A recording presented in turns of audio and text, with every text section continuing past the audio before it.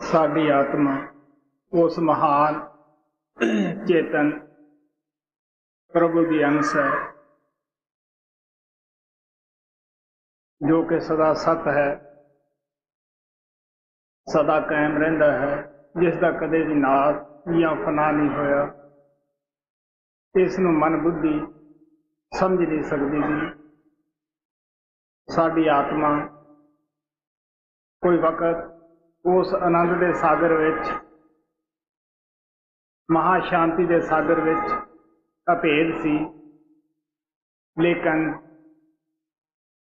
ਇਹ ਉਸ ਤੋਂ ਵਿਛੜ ਕੇ ਕਬੀਰ ਸਾਹਿਬ ਨੇ ਆਪਣੇ ਨਰਾਗ ਸਾਗਰ ਦੇ ਵਿੱਚ ਵਿਛੋੜੇ ਦਾ ਜ਼ਿਕਰ ਬੜਾ ਖੋਲ ਕੇ ਕੀਤਾ ਹੈ ਕਿ ਕਿਸ ਤਰ੍ਹਾਂ ਸਤਪੁਰਸ਼ ਨੇ ਜਦ ਇਹ ਰਚਨਾ ਰਚਨੀ ਚਾਹੀ 16 ਸ਼ਕਤੀਆਂ ਪੈਦਾ ਕੀਤੀਆਂ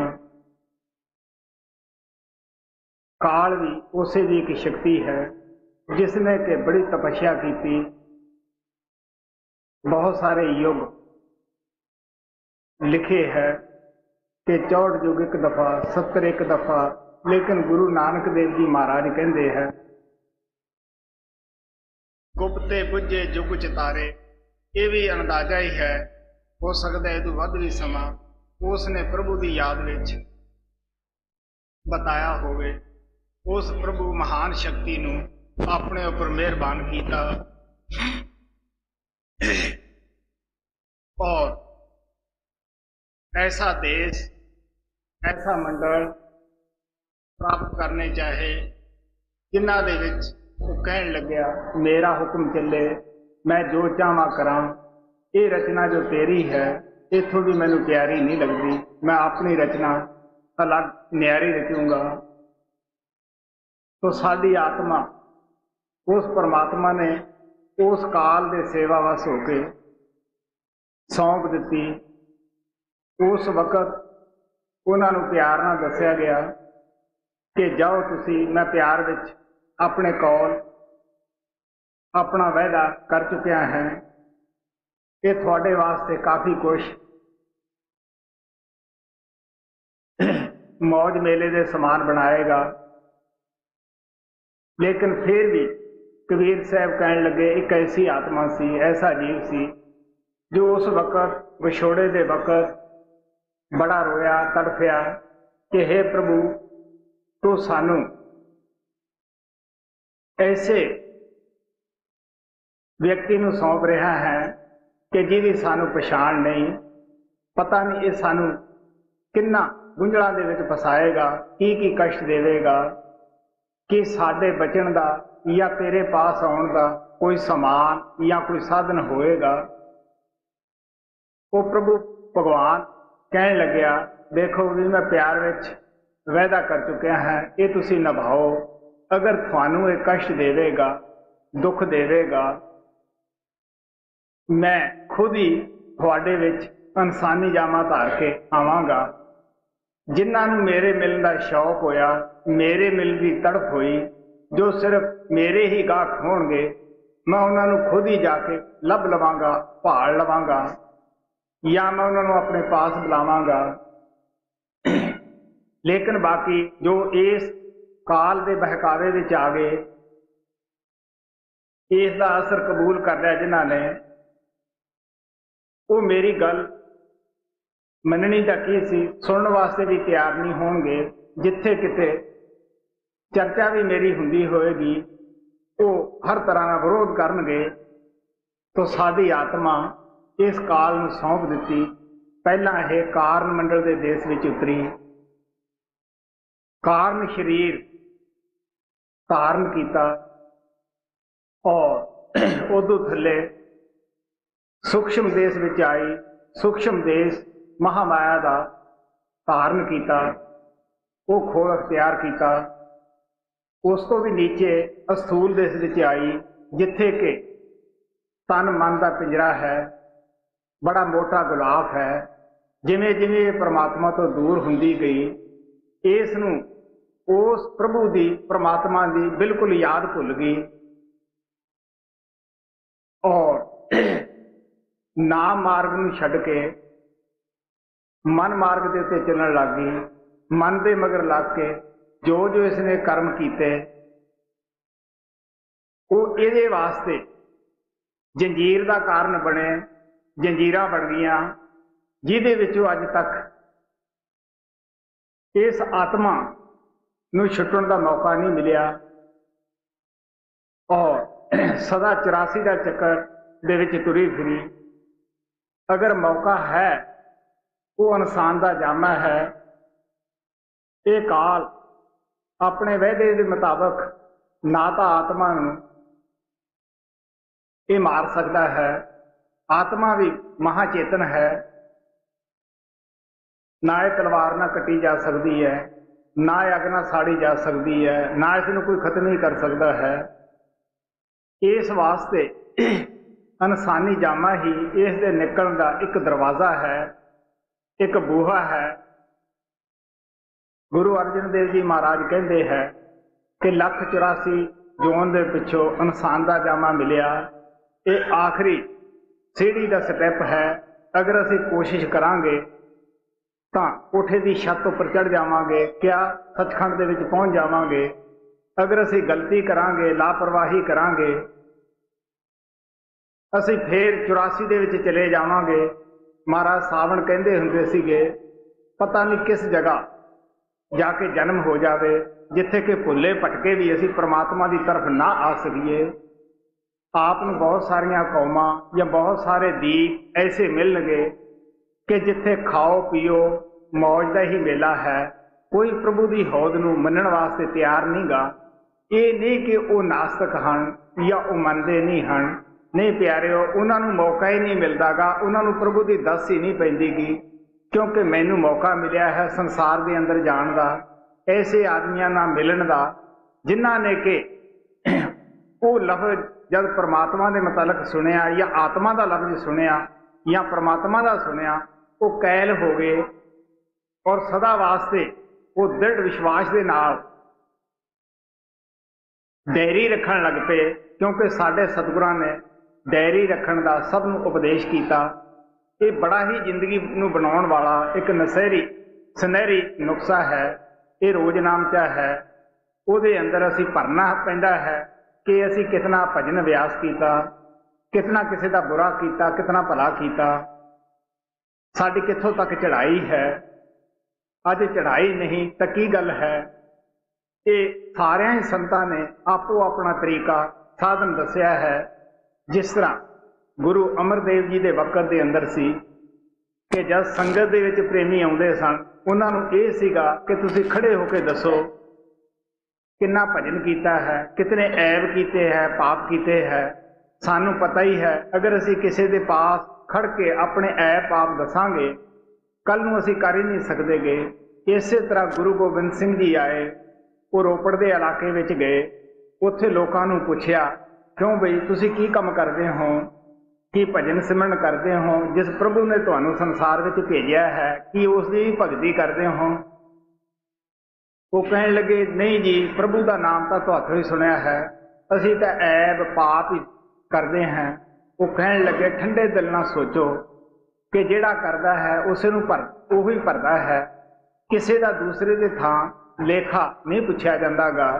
ਕਿ ਕਦੇ ਸੋਚਿਆ ਹੈ ਕਿ ਇਹਨਾਂ ਪਾਪਾਂ ਦਾ ਕੀ ਅਸਰ ਹੋਏਗਾ, ਕੀ ਡੰਡ ਮਿਲੇਗਾ? ਉਹ ਕਹਿਣ ਲੱਗੇ, ਅਸੀਂ ਬਿਲਕੁਲ ਹੀ ਨਹੀਂ ਸੋਚਿਆਗਾ। ਕੀ ਤਰੀਕਾ ਹੈ ਇਹਨਾਂ ਤੋਂ ਬਚਣ ਦਾ? ਉਹ ਕਹਿਣ ਲੱਗੇ ਕਿ ਹਾਂ।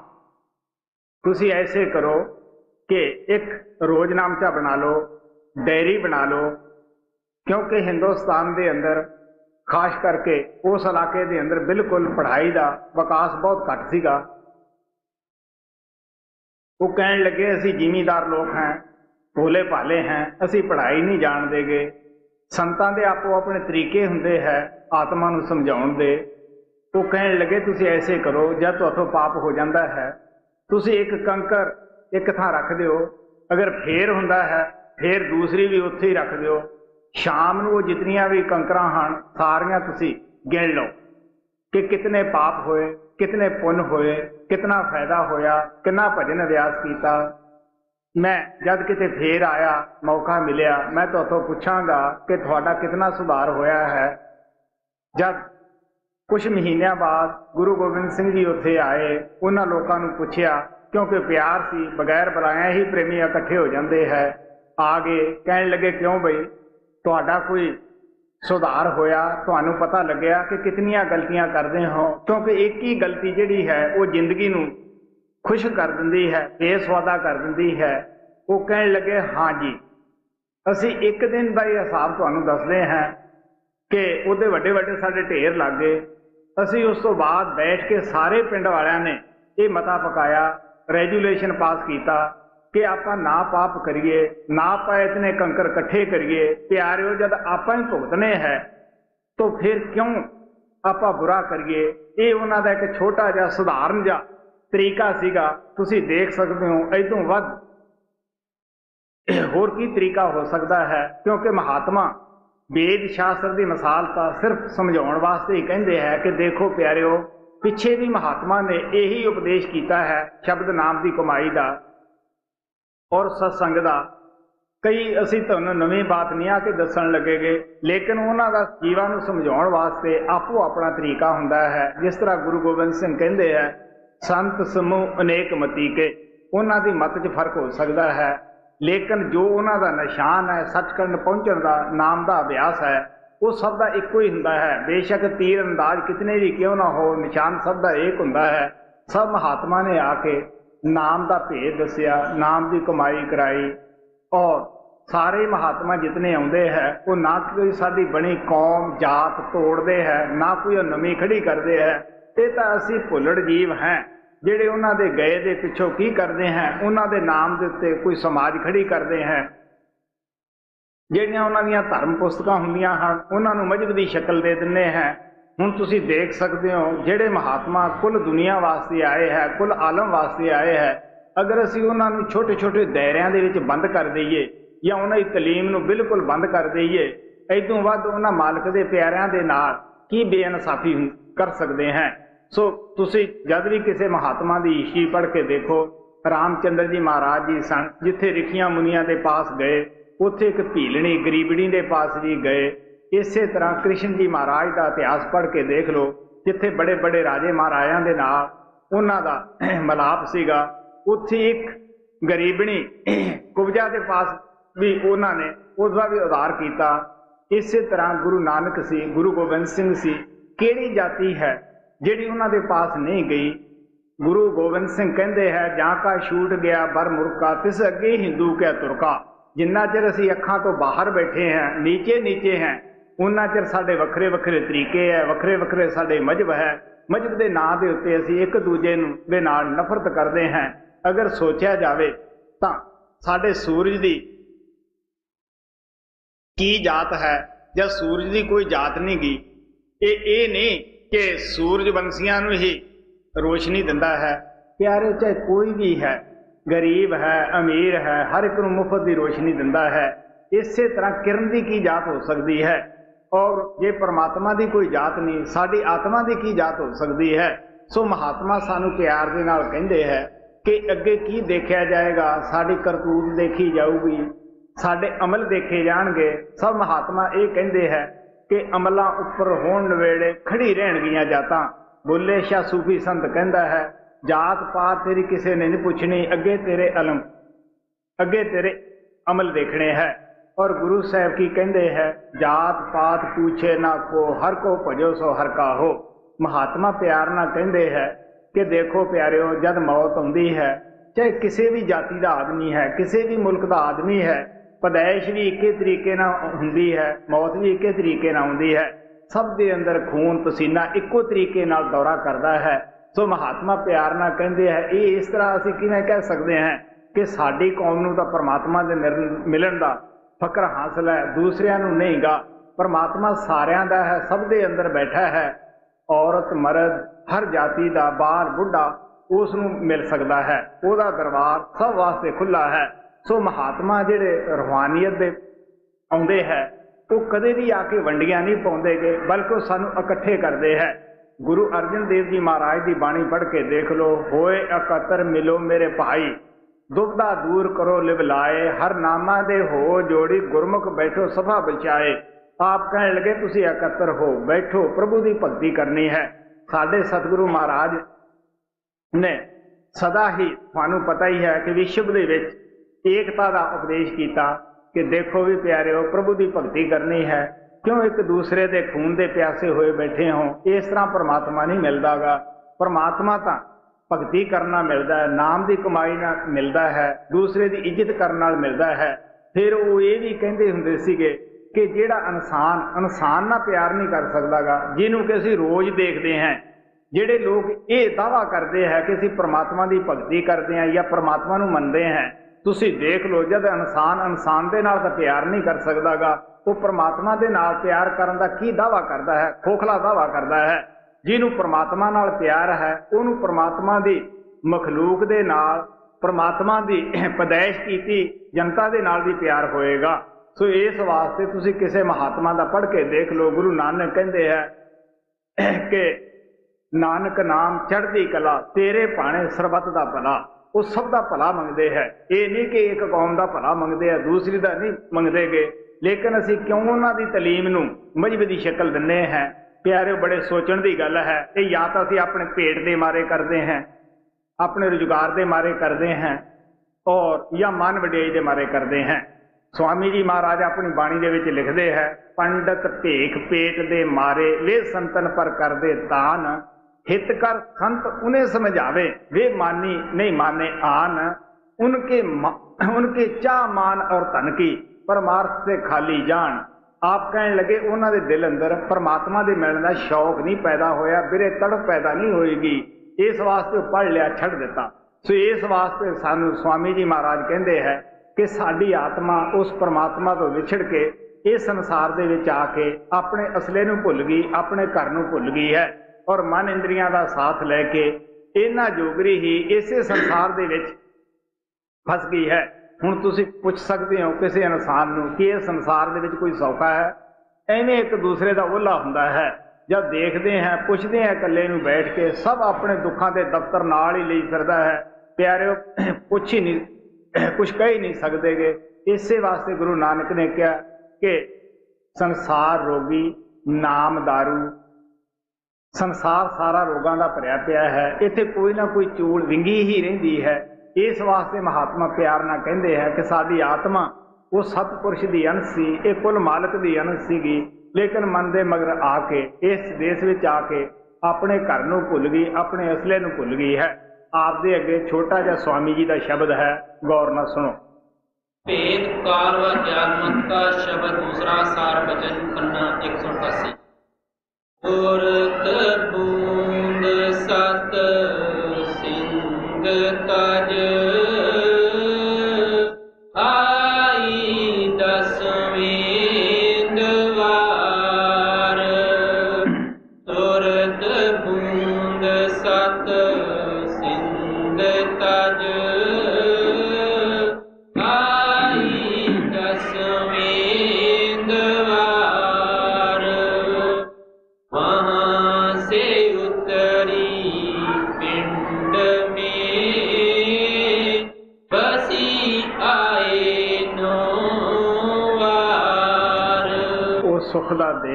ਸੁਖ ਦਾ ਸਮੁੰਦਰ ਛੱਡ ਕੇ ਆਪ ਕਹਿਣ ਲੱਗੇ, ਇਹ ਨਿਚਲੇ ਮੰਡਲਾਂ ਦੇ ਵਿੱਚ ਆਈ, ਦਸਵੇਂ ਦਵਾਰ ਵਿੱਚ ਆ ਗਈ, ਪਾਰਬ੍ਰਹਮ ਦੇ ਵਿੱਚ ਆ ਗਈ, ਉੱਥੋਂ ਥੱਲੇ ਦਾ ਰਸਤਾ ਪਕੜਿਆ।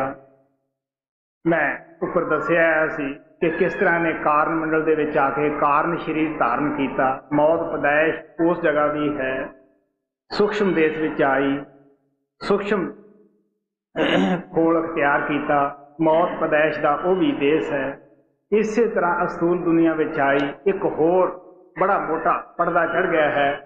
ਇਹਨੇ ਆਪ ਦੀ ਰੋਸ਼ਨੀ ਬਿਲਕੁਲ ਗੁੰਮ ਕਰ ਲਈ ਹੈ, ਆਪਣੇ ਘਰ ਨੂੰ ਭੁੱਲ ਗਈ ਹੈ। ਆਪ ਕਹਿਣ ਲੱਗੇ ਕਿ ਸਰੀਰ ਦੇ ਵਿੱਚ ਆ ਗਈ, ਜਿਸ ਦੇ ਨੌ ਦਰ ਹੈ। ਦੋ ਅੱਖਾਂ ਦੇ ਸੁਰਾਖ ਹੈ, ਦੋ ਕੰਨਾਂ ਦੇ ਹੈ, ਦੋ ਨੱਕ ਦੇ ਸੁਰਾਖ ਹੈ, ਮੂੰਹ ਹੇਠ ਦੋ ਇੰਦਰੀਆਂ ਦੇ ਸੁਰਾਖ ਹਨ। ਆਪ ਕਹਿਣ ਲੱਗੇ ਕਿ ਇਹਨਾਂ ਦੇ ਵਿੱਚ ਆ ਕੇ ਫਸ ਚੁੱਕੀ ਹੈ। ਹਰ ਇੰਦਰੀ ਆਪੋ ਆਪਣੇ ਸਵਾਦ ਵਾਸਤੇ ਇਹ ਆਤਮਾ ਨੂੰ ਖਿੱਚੀ ਫਿਰਦੀ ਹੈ। ਜੋ ਜੋ ਕਰਮ ਅਸੀਂ ਮਨ ਦੇ ਆਖੇ ਲਾ ਕੇ ਕਰਦੇ ਹਾਂ, ਉਹ ਸਾਥ ਸਾਡੀ ਆਤਮਾ ਨੂੰ ਵੀ ਭੁਗਤਣੇ ਪੈਂਦੇ ਹੈ। ਸਾਨੂੰ ਪਤਾ ਹੀ ਹੈ ਕਿ ਜਿਹੜਾ ਤਨ ਮਨ ਅੱਜ ਇਤਨਾ ਦੁਖੀ ਹੈ, ਜਿਹੜੀ ਵਸਤੂ ਆਤਮਾ ਇਹਦੇ ਵਿੱਚ ਰਹਿ ਰਹੀ ਹੈ, ਇਸ ਨੂੰ ਵੀ ਇਹ ਸੇਕ ਦੁਨੀਆ ਦੀ ਪਰੇਸ਼ਾਨੀ ਦਾ, ਦੁੱਖਾਂ ਦਾ ਜ਼ਰੂਰ ਲੱਗਦਾ ਹੈ। ਜਿਸ ਤਰ੍ਹਾਂ ਆਪਾਂ ਅਗਨੀ ਦੇ ਵਿੱਚ ਲੋਹਾ ਪਾ ਦਈਏ, ਬੇਸ਼ੱਕ ਉਹ ਜਲਦਾ ਨਹੀਂਗਾ। ਲੇਕਿਨ ਉਹਦਾ ਰੰਗ ਤਬਦੀਲ ਲਾਲ ਹੋ ਜਾਂਦਾ ਹੈ, ਬੜਾ ਗਰਮ ਹੋ ਜਾਂਦਾ ਹੈ। ਇਸੇ ਤਰ੍ਹਾਂ ਸਾਡੀ ਆਤਮਾ ਦੀ ਹਾਲਤ ਹੈ। ਜੀ। ਸੇ ਉਤਰੀ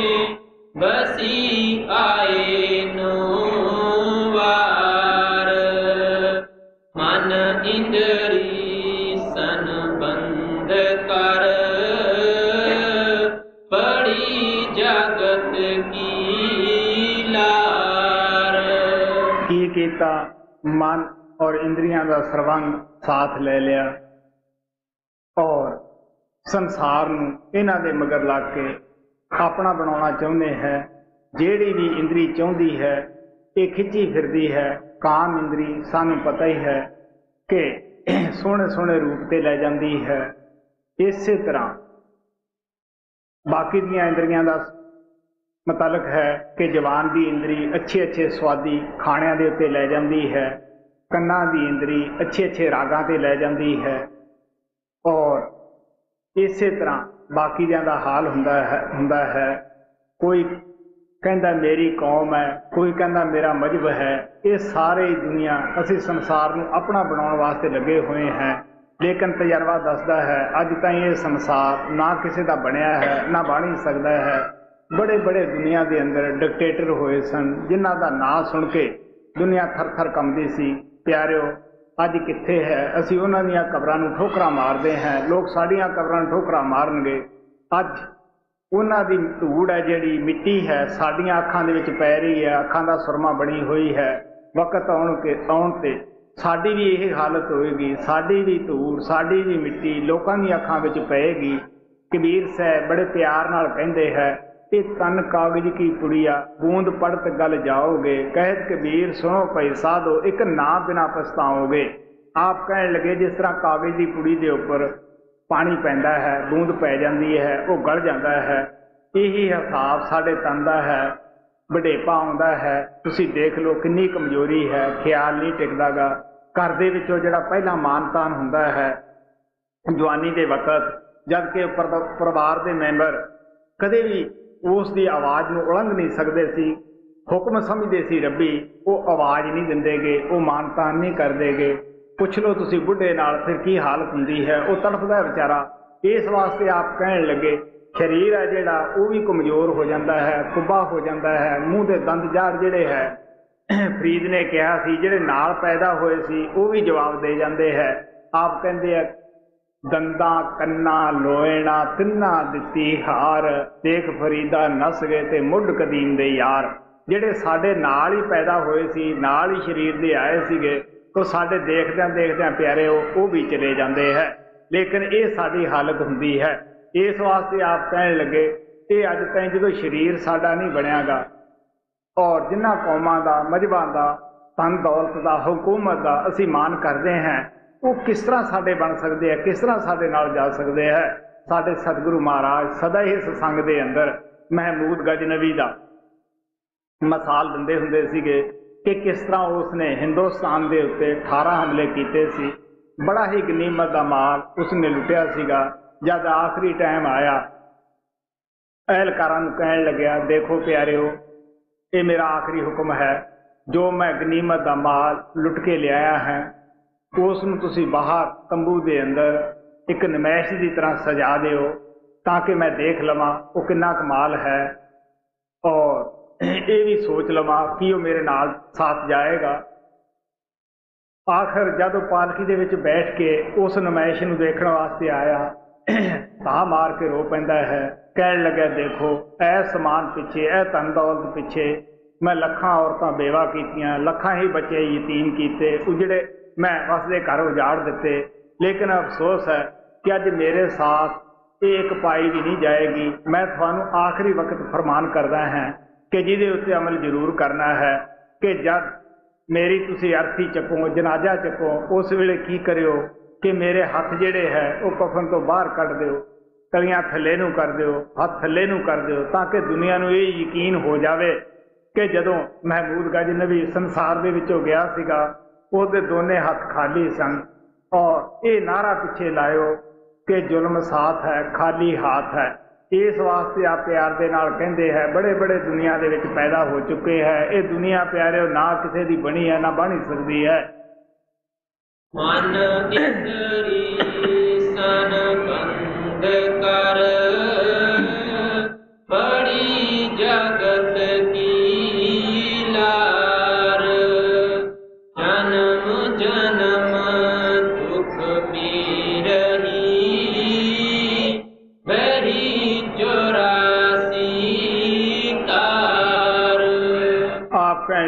ਜਦ ਭੇਡ ਬੱਕਰੀਆਂ ਤਾਂ ਵੀ ਦੁੱਖ ਹੈ। ਮੱਛੀ ਦੇ ਜਾਮੇ 'ਚ ਤਦ ਵੀ ਦੁੱਖ ਹੈ। ਸੱਪ ਦੇ ਜਾਮੇ 'ਚ ਫਿਰ ਵੀ ਅਸੀਂ ਦੁਖੀ ਹੈ। ਢਿੱਡ ਰੇਂਗ ਕੇ ਚੱਲਣਾ ਪੈਂਦਾ ਹੈ। ਹੋਰ ਬੜੀਆਂ ਜੁਨਾ ਹੈ।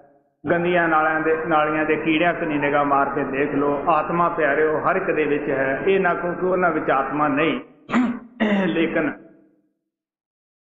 ਖੋਟੇ ਕਰਮਾਂ ਦੀ ਸਜ਼ਾ ਜਿਹੜੀਆਂ ਇਨਸਾਨੀ ਜਾਮੇ ਦੇ ਵਿੱਚ ਲਾਪਰਵਾਹੀਆਂ ਕੀਤੀਆਂ ਸਨ, ਉਹਦੀ ਉਹ ਸਜ਼ਾ ਭੁਗਤ ਰਹੇ ਹੈ। ਤੋ ਆਪ ਕਹਿੰਦੇ ਹੈ, ਜਨਮ ਜਨਮ ਦੁੱਖ ਮੇਰੇ ਹੀ। ਜਿੱਥੇ ਵੀ ਜਾ ਕੇ ਜਨਮ ਲਿਆ, ਉੱਥੇ ਦੁੱਖ ਹੀ ਦੁੱਖ ਮੁਸੀਬਤਾਂ ਹੀ ਮੁਸੀਬਤਾਂ ਹੈ। ਹੋਰ ਤਾਂ ਤੁਸੀਂ ਜਾਮਿਆਂ ਦੀ ਕੀ ਗੱਲ ਕਰੋਗੇ? ਜਾਂ ਇਨਸਾਨ ਦਾ ਜਾਮਾ ਹੈ, ਜਿਹੜਾ ਸਾਰੀਆਂ ਜੂਨਾਂ ਦਾ ਅਸੀਂ ਸਰਦਾਰ ਕਰਕੇ ਬਿਆਨ ਕਰਦੇ ਹਾਂ, ਜਿਹਨੂੰ ਮਹਾਤਮਾ ਨਰ ਨਰੈਣੀ ਦੇ ਕਰਕੇ ਬਿਆਨ ਕਰਦੇ ਹੈ, ਜਿਹਦੇ ਵਿੱਚ ਖੁਦ ਨਰੈਣ ਬੈਠਾ ਹੈ ਆਪ ਕਹਿਣ ਲੱਗੇ, ਜਦ ਉਹ ਹੀ ਸੌਖਾ ਨਹੀਂਗਾ ਹੋਰ ਕੌਣ ਸੌਖਾ ਹੋ ਸਕਦਾ ਹੈ? ਇੱਥੇ ਤੁਸੀਂ ਦੇਖ ਲਓ, ਕਿਸੇ ਥਾਂ ਵਾਜੇ ਵੱਜਦੇ ਆ ਉਸ ਘਰ ਦੇ ਵਿੱਚ, ਵਕਤ ਪਾ ਕੇ ਮੌਤ ਹੋ ਜਾਂਦੀ ਹੈ, ਉੱਥੇ ਉਹੀ ਘਰ ਨਰਕ ਬਣ ਕੇ ਬਹਿ ਜਾਂਦਾ ਹੈ। ਸ਼ਾਦੀ ਹੁੰਦੀ ਹੈ, ਮਨ ਫੁੱਲਿਆ ਨਹੀਂ ਸਮਾਉਂਦਾ, ਜਦ ਬੀਵੀ ਦੇ ਨਾਲ ਬੇਇਤਫਾਕੀ ਹੋ ਜਾਂਦੀ ਹੈ ਅਭਾਵ ਆ ਜਾਂਦਾ ਹੈ, ਉਹੀ ਘਰ ਨਰਕ ਬਣ ਕੇ ਰਹਿ ਜਾਂਦਾ ਹੈ। ਇਸੇ ਤਰ੍ਹਾਂ ਪਤਾ ਨਹੀਂ ਕਿਤਨਾ ਕੁ ਵਕਤ ਅਸੀਂ ਸ਼ਾਹੂਕਾਰ ਹਾਂ, ਗਰੀਬੀ ਦਾ ਪਤਾ ਨਹੀਂ ਬਿਨਾ ਬੁਲਾਇਆ ਕਿਹੜੇ ਵੇਲੇ ਉਸਨੇ ਆ ਜਾਣਾ ਹੈ, ਕਦ ਘਾਟਾ ਪੈ ਜਾਣਾ ਹੈ। ਇਸ ਵਾਸਤੇ ਮਹਾਤਮਾ ਸਾਨੂੰ ਪਿਆਰ ਨਾਲ ਕਹਿੰਦੇ ਹੈ ਕਿ ਅਸੀਂ ਜਿੱਥੇ ਵੀ ਜਾ ਕੇ ਜਨਮ ਲਿਆ, ਉੱਥੇ ਦੁੱਖ ਹੀ ਦੁੱਖ ਹੈ, ਮੁਸੀਬਤਾਂ ਮੁਸੀਬਤਾਂ ਭੋਗਣੀਆਂ ਪੈਂਦੀਆਂ ਹਨ। ਜੀ। ਜਨਮ ਜਨਮ, ਦੁਖ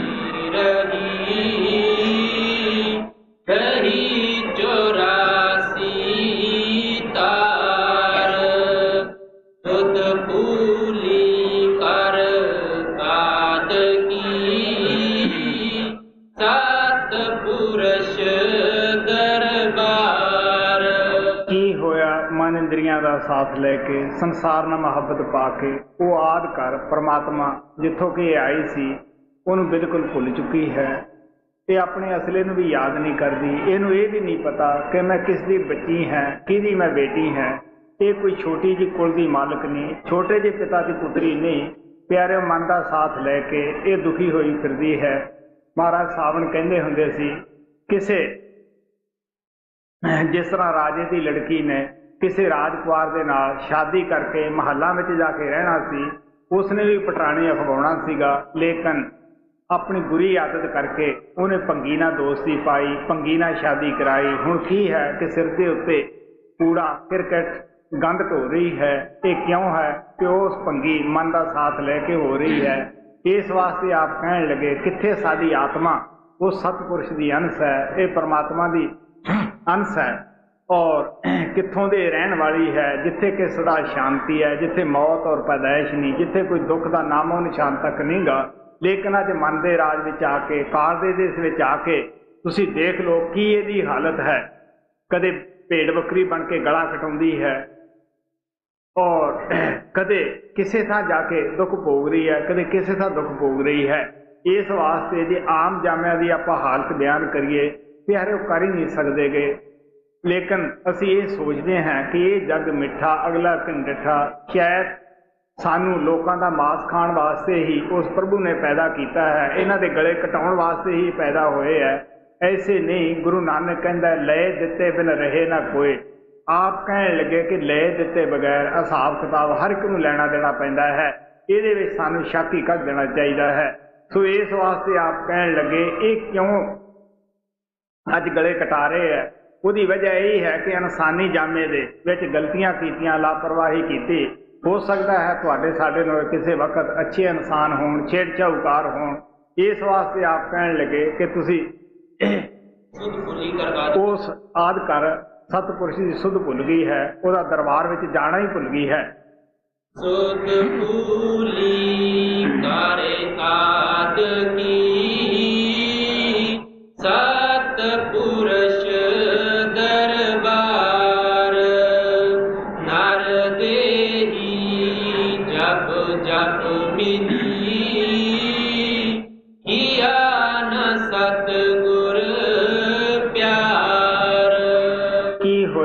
ਕਿ ਮੈਂ ਉੱਪਰ ਦੱਸ ਕੇ ਆਇਆ ਸੀਗਾ ਕਿ ਪਰਮਾਤਮਾ ਨੇ ਵਾਅਦਾ ਕੀਤਾ ਸੀਗਾ ਕਿ ਜਦ ਤੂੰ ਮੈਨੂੰ ਪੁਕਾਰੇਂਗੀ, ਮੈਂ ਆਉਂਗਾ ਇਹ ਵੀ ਦੱਸਿਆ ਸੀ ਕਿ ਜਿਹਨੂੰ ਮੇਰੀ ਚਾਹਨਾ ਹੋਏਗੀ, ਉਹ ਮੇਰੇ ਕੋਲੇ ਆ ਜਾਏਗਾ।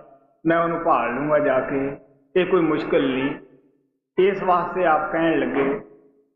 ਲੇਕਿਨ ਕੀ ਹਾਲਤ ਸੀ ਕਿ ਜਦ ਵੀ ਇਨਸਾਨੀ ਜਾਮਾ ਮਿਲਿਆ 84 ਦੇ ਗੇੜ ਵਿੱਚੋਂ ਨਿਕਲਣ ਦਾ ਉਦੋਂ ਸਤਿਗੁਰੂ ਨਾਲ ਪਿਆਰ ਨਾ ਕੀਤਾ, ਸਤਿਗੁਰੂ ਦੀ ਬਾਤ ਹੀ ਨਾ ਸੁਣੀ ਕਿ ਗੁਰੂ ਵੀ ਕੋਈ ਚੀਜ਼ ਹੁੰਦਾ ਹੈ। ਉਦੋਂ ਲਾਪਰਵਾਹੀ ਕੀਤੀ। ਇਸ ਵਾਸਤੇ ਆਪ ਪਿਆਰ ਦੇ ਨਾਲ ਕਹਿੰਦੇ ਹੈ ਕਿ ਇਹਨੂੰ ਕੌਣ ਬਚਾਵੇ, ਕੌਣ ਇਸ ਨੂੰ ਤਾਰੇ? ਕਿਉਂਕਿ ਤਾਰਨ ਵਾਲਾ, ਬਚਾਉਣ ਵਾਲਾ ਅਗਰ ਕੋਈ ਦੋਸਤ ਹੈ, ਮਿੱਤਰ ਹੈ ਬੇਗਰਜ ਜਿਸ ਦਾ ਪਿਆਰ ਹੈ, ਉਹ ਸੰਤ ਸਤਿਗੁਰੂ ਹੈ। ਬਾਕੀ ਜਿਤਨਾ ਵੀ ਦੁਨੀਆ ਦਾ ਪਿਆਰ ਹੈ, ਉਹ ਸਭ ਗਰਜ ਦਾ ਬੰਦਾ ਹੋਇਆ ਹੈ। ਕਬੀਰ ਸਾਹਿਬ ਪਿਆਰ ਨਾਲ ਕਹਿੰਦੇ ਹੈ ਸਾਡਾ ਕੋਈ ਨਹੀਂ, ਸਾਡਾ ਤਾਂ ਸਤਿਗੁਰੂ ਪਿਆਰਾ ਹੈ। ਆਪ ਕਹਿਣ ਲੱਗੇ, ਅਗਰ ਦਿਲ ਦਾ ਕੋਈ ਮਹਿਰ ਮਿਲਿਆ ਹੈ, ਉਹ ਗੁਰੂ ਹੀ ਹੈ, ਬਾਕੀ ਸਾਰੇ ਗਰਜੀ ਹੈ। ਇਸ ਵਾਸਤੇ ਜਿਤਨੇ ਵੀ ਮਹਾਤਮਾ ਆਏ ਹੈ, ਸਭ ਦਾ ਇਹੀ ਸੰਦੇਸ਼ ਆਇਆ ਹੈ, ਲੇਕਿਨ ਸਾਡੇ ਅੰਦਰ ਕੀ ਲਾਪਰਵਾਹੀ ਹੈ? ਅਸੀਂ ਕਹਿੰਦੇ ਆ ਹਾਂ। ਦੇਖਾਂਗੇ, ਫੇਰ ਦੇਖਾਂਗੇ ਕਿਤੇ। ਮਹਾਰਾਜ ਸਾਵਣ ਸਿੰਘ ਆਪਣੇ ਇੱਕ ਰਿਸ਼ਤੇਦਾਰ ਦੀ ਕਹਾਣੀ ਦੱਸਦੇ ਹੁੰਦੇ ਸੀ, ਜਿਹੜਾ ਕਿ ਰਿਸ਼ਤੇਦਾਰੀ ਦੇ ਵਿੱਚ ਉਹਨਾਂ ਦੇ ਚਾਚੇ ਦੇ ਥਾਂ ਲੱਗਦਾ ਸੀਗਾ, ਉਹਨਾਂ ਦੇ ਘਰਵਾਲੀ ਨੂੰ ਨਾਮ ਸੀਗਾ, ਸ਼ਬਦ ਦੀ ਕਮਾਈ ਕਰਦੀ ਸੀਗੀ। ਸਾਨੂੰ ਪਤਾ ਹੀ ਹੈ, ਆਮ ਲੋਕ ਘਰ ਵਾਲਿਆਂ ਤੇ ਇਤਵਾਰ ਘੱਟ ਹੀ ਲਿਆਉਂਦੇ ਹੈ। ਉਹ ਚਾਚੇ ਨੂੰ ਇਹ ਸੀਗਾ ਕਿ ਇਹ ਲੜਕਾ ਹੈ, ਸਾਡੇ ਕੋਲੇ ਖੇਡਦਾ ਰਿਹਾ ਹੈ, ਲੇਕਿਨ ਘਰ ਵਾਲੀ ਨੇ ਬਹੁਤ ਸਾਰਾ ਜ਼ੋਰ ਲਾਇਆ। ਅਸੀਂ ਆਮ ਤੌਰ ਦੇ ਉੱਤੇ ਲੋਕ ਹਰ ਗੱਲ ਦਾ ਘਰ ਵਾਲੀ ਤੇ ਇਤਵਾਰ ਕਰਦੇ ਹਾਂ, ਘਰ ਵਾਲੀ ਸਾਡੇ ਤੇ ਵੀ ਕਰ ਲੈਂਦੀ ਹੈ, ਕਿਉਂਕਿ ਸਾਡਾ ਸਰਬੰਧ ਹੀ ਐਸਾ ਹੈ, ਕਰਨਾ ਵੀ ਚਾਹੀਦਾ ਹੈ। ਲੇਕਿਨ ਜੇ ਘਰ ਵਾਲੀ ਇਹ ਕਹਿ ਦੇ ਕਿ ਨਾਮ ਅੱਛਾ ਹੈ, ਗੁਰੂ ਅੱਛੇ ਹੈ, ਚਲ ਤੂੰ ਵੀ ਫਾਇਦਾ ਉਠਾ ਲਾ, ਜਾਂ ਘਰ ਵਾਲਾ ਇਹ ਕਹਿ ਦੇਵੇ ਕਿ ਪਿਆਰੀਏ, ਚਲ ਤੂੰ ਵੀ ਨਾਮ ਦੀ ਕਮਾਈ ਕਰ, ਨਾਮ ਲੈ ਲਾ। ਜੇ ਤਾਂ ਸਾਡੇ ਕਰਮ ਸਾਥ ਦੇ ਦੇਣ, ਤਾਂ ਅਸੀਂ ਚੁੱਪ ਕਰਕੇ ਆ ਜਾਵਾਂਗੇ, ਸ਼ਰਧਾ ਨਾਲ ਆਵਾਂਗੇ, ਨਹੀਂ ਤਾਂ ਅਸੀਂ ਉਸ ਦੀ ਬਾਤ ਸੁਣਨ ਵਾਸਤੇ ਤਿਆਰ ਨਹੀਂ, ਕਹਿ ਦਿੰਦੇ ਨਾ, ਐਸਾ ਨਾ ਕਰ। ਉਹ ਜਦ ਵੀ ਘਰ ਵਾਲੀ ਕਹਿੰਦੀ ਹੁੰਦੀ ਸੀਗੀ ਕਿ ਦੇਖ, ਰੱਬ ਰੂਪ, ਪਰਮਾਤਮਾ ਰੂਪ ਸਾਵਣ ਆਇਆ ਹੈ, ਚੱਲ ਫਾਇਦਾ ਉਠਾ ਲਾ। ਉਹ ਬਹਾਨਿਆਂ ਦੇ ਵਿੱਚ ਹੀ ਵਕਤ ਕੱਢਦਾ ਰਿਹਾ ਕਿ ਦੇਖ, ਇਸ ਦਫਾ ਮੇਰਾ ਕੋਟ ਨਹੀਂ ਬਣਿਆ, ਇਸ ਦਫਾ ਮੈਂ ਤਿਆਰ ਨਹੀਂ, ਮੇਰਾ ਕਾਰੋਬਾਰ ਹੈ। ਤੁਹਾਨੂੰ ਪਤਾ ਹੈ ਕਿ ਮੌਤ ਕਦੇ ਵੀ ਇਹ ਵਾਅਦਾ ਨਹੀਂ ਕਰਦੀ ਕਿ ਜਿੱਦੇ ਤੇਰੇ ਕਾਰੋਬਾਰ ਪੂਰੇ ਹੋ ਗਏ, ਮੈਂ ਤੈਨੂੰ ਫੇਰ ਆ ਕੇ ਲੈ ਜਾਊਂਗੀ, ਤੂੰ ਆਪਦੇ ਸਾਰੇ ਕੰਮ ਕਰ ਲੈ। ਜਾਂ ਪਹਿਲਾਂ ਹੀ ਪਰਮਾਨਾ ਭੇਜ ਦੇਵੇ ਕਿ ਫਲਾਣੇ ਦਿਨ ਤਿਆਰ ਰਹੀ ਪਤਾ ਨਹੀਂ ਕਿਸ ਵਕਤ, ਕਿਸ ਜਗ੍ਹਾ ਦੇ ਉੱਤੇ ਪਿਆਰਿਓ, ਕਿਸ ਤਰੀਕੇ ਨਾਲ ਮੌਤ ਆਉਣੀ ਹੈ, ਇਹ ਪਹਿਲਾਂ ਤੋਂ ਟਾਈਮ ਮੁਕਰਰ ਹੈ, ਲੇਕਿਨ ਸਾਨੂੰ ਇਸ ਦਾ ਗਿਆਨ ਨਹੀਂ ਹੁੰਦਾਗਾ ਕਿ ਕੈਸਾ ਹੋਏਗਾ। ਔਰ ਜਦ ਵਕਤ ਆਇਆ, ਉਹ ਰੋਣ ਲੱਗਿਆ ਚਿਲਾਉਣ ਲੱਗਿਆ, ਘਰਵਾਲੀ ਨੂੰ ਕਹਿਣ ਲੱਗਿਆ, ਦੇਖ, ਜਮ, ਮੇਰੇ ਹੱਥ ਸਾੜਦੇ ਹੈ, ਮੈਨੂੰ ਕਸ਼ਟ ਦਿੰਦੇ ਹੈ, ਔਰ ਮੈਨੂੰ ਬੜੀਆਂ ਅੱਖਾਂ ਦੇ ਨਾਲ ਡਰਾ ਰਹੇ ਹੈ। ਮੇਰੀ ਕੋਈ ਮਦਦ ਕਰ। ਉਹਨੇ ਪਿਆਰ ਨਾਲ ਕਿਹਾ, ਦੋ ਹਿੰਜੂ ਵੀ ਪਿਆਰ ਕਰੇ ਕੇਰੇ ਕਿ ਮੈਂ ਵੇਖ ਤੈਨੂੰ ਹਮੇਸ਼ਾ ਹੀ ਕਹਿੰਦੀ ਸੈਂ, ਤੂੰ ਚੱਲ ਉੱਥੇ ਡੇਰੇ, ਤੂੰ ਨਾਮ ਲੈ ਆ। ਅਗਰ ਜੇ ਤੂੰ ਨਾਮ ਲੈ ਲੈਂਦਾ, ਅੱਜ ਤੇਰੀ ਇਹ ਹਾਲਤ ਨਾ ਹੁੰਦੀ। ਸੋ ਪਿਆਰਿਓ, ਫਿਰ ਕੀ ਬਣਦਾ ਹੈ? ਫਿਰ ਪਛਤਾਇਆ ਕੀ ਬਣਦਾ ਹੈ? ਇਸ ਵਾਸਤੇ ਆ ਪਿਆਰ ਦੇ ਨਾਲ ਕਹਿੰਦੇ ਹੈ ਕਿ ਸਾਡੀ ਕੀ ਗਲਤੀ ਹੁੰਦੀ ਹੈ? ਨਰ ਦੇ ਹੀ ਜਗ ਜਬ ਮਿਲੀ ਕੀਆ ਨਾ ਸਤਿਗੁਰ ਪਿਆਰ? ਅਸੀਂ ਦੁਨੀਆ ਨਾਲ ਤਾਂ ਪਿਆਰ ਕਰਦੇ ਹਾਂ, ਮੁਹੱਬਤ ਕਰਦੇ ਹਾਂ, ਲੇਕਿਨ ਅਸੀਂ ਸਤਿਗੁਰਾਂ ਦੇ ਨਾਲ ਉਹ ਪਿਆਰ ਜਿਹੜਾ ਕਿ ਸਾਡੇ ਵਾਸਤੇ ਗੁਰੂ ਰੱਖਦਾ ਹੈ। ਸਾਡੇ ਸਤਿਗੁਰੂ ਮਹਾਰਾਜ ਕਹਿੰਦੇ ਹੁੰਦੇ ਸੀਗੇ ਅਗਰ ਸਾਨੂੰ ਇਹ ਪਤਾ ਲੱਗ ਜਾਵੇ ਕਿ ਸਾਡੇ ਵਾਸਤੇ ਸੰਤ ਕਿਤਨੀ ਹਮਦਰਦੀ ਰੱਖਦੇ ਹੈ ਕਿਤਨਾ ਇਹ ਪਿਆਰ ਕਰਦੇ ਹੈ ਕਹਿਣ ਲੱਗੇ ਤੁਸੀਂ ਖੁਸ਼ੀ ਦੇ ਵਿੱਚ ਨੱਚ ਉਠੋ ਜੀ। ਨਰ ਦੇਹੀ ਜਪ ਜਪ ਮਿਲੀ।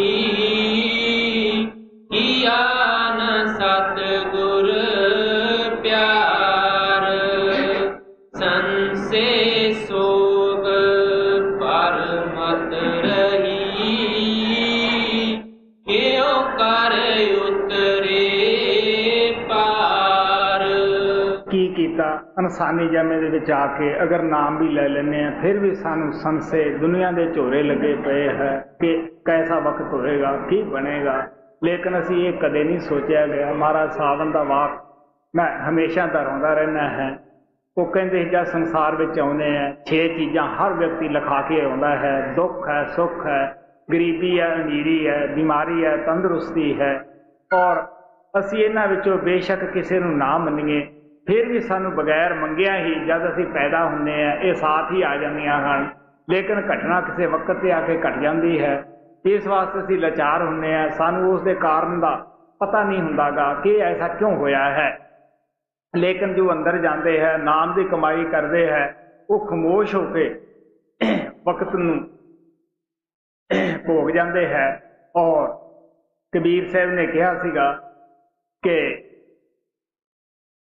सात दीप नौ खंड में तीन लोक ब्रह्मंड ਕਹੇ ਕਬੀਰ ਸਭ ਕੋ ਮਿਲੇ ਦੇ ਤਰੀਕਾ ਡੰਡ ਉਹ ਆਪ ਕਹਿਣ ਲੱਗੇ ਤੁਸੀਂ ਸੱਤਾਂ ਦੀਪਾਂ ਨੌ ਖੰਡਾਂ ਸਾਰੀ ਦੁਨੀਆ ਦੇ ਕਿਸੇ ਵੀ ਹਿੱਸੇ ਦੇ ਅੰਦਰ ਜਾ ਕੇ ਜਨਮ ਲੈ ਲਓ ਜੋ ਤੁਹਾਨੂੰ ਦੰਡ ਦੇ ਤਰੀ ਦਾ ਮਿਲਣਾ ਹੈ ਕਾਲ ਜਿਵੇਂ ਸਾਰਿਆਂ ਨੂੰ ਦਿੰਦਾ ਹੈ ਮੌਤ ਵੀ ਦਿੰਦਾ ਹੈ ਜੋ ਕਰਮ ਅਸੀਂ ਕਰਦੇ ਹਾਂ ਉਹ ਸਾਨੂੰ ਭੁਗਤਾਉਂਦਾ ਹੈ ਕਹਿਣ ਲੱਗੇ ਕਿਸੇ ਵੀ ਦੁਨੀਆ ਦੇ ਕੋਨੇ 'ਚ ਚਲੇ ਜਾਓ ਪਿਆਰਿਓ ਇਹ ਤੁਹਾਨੂੰ ਉੱਥੇ ਵੀ ਭੋਗਣਾ ਪਏਗਾ लेकिन आप कहने लगे कि दे तरीका दंड सब काहू को होए ज्ञानी भोगे ज्ञान से अज्ञानी भोगे रोए ਦੁਨੀਆਦਾਰ ਵੀ ਭੋਗਦੇ ਹੈ ਲੇਕਿਨ ਰੋ ਪਿੱਟ ਕੇ ਵਕਤ ਪੂਰਾ ਕਰਦੇ ਹੈ ਇਸ ਵਾਸਤੇ ਅਸੀਂ ਕਿੱਥੋਂ ਭਜਨ ਕਰ ਸਕਦੇ ਹਾਂ ਜਿਸ ਮਨ ਨੇ ਭਜਨ ਕਰਨਾ ਸੀ ਸਿਮਰਨ ਕਰਨਾ ਸੀ ਜਿੱਥੇ ਅਸੀਂ ਗੁਰੂ ਸਰੂਪ ਨੂੰ ਬਿਠਾਉਣਾ ਸੀਗਾ ਉਹ ਤਾਂ ਦੁਨੀਆ ਦੇ ਸੰਸੇ ਝੋਰੇ ਵਾਸਤੇ ਚਿੰਤਾ ਵਾਸਤੇ ਨੂੰ ਜਗ੍ਹਾ ਦਿੱਤੀ ਹੋਈ ਹੈ ਇਸ ਵਾਸਤੇ ਆਪ ਕਹਿਣ ਲੱਗੇ,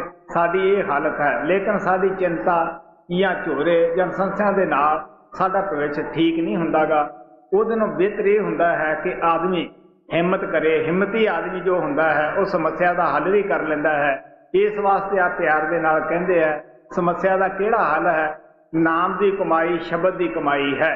ਕਿਉਂਕਿ ਇਹਦੇ ਨਾਲ ਅਸੀਂ ਇਤਨੇ ਉੱਚੇ ਉੱਠ ਖੜਦੇ ਹਾਂ ਕਿ ਜਿਹਦੇ ਨਾਲ ਅਸੀਂ ਇਸ ਚੀਜ਼ ਨੂੰ ਮਹਿਸੂਸ ਹੀ ਨਹੀਂ ਕਰਦੇ। ਸਾਡੀ ਆਤਮਾ ਜਿਹੜੀ ਹੈ, ਉਹ ਬਲਵਾਨ ਹੋ ਜਾਂਦੀ ਹੈ। ਹੁਣ ਕਿਉਂ ਅਸੀਂ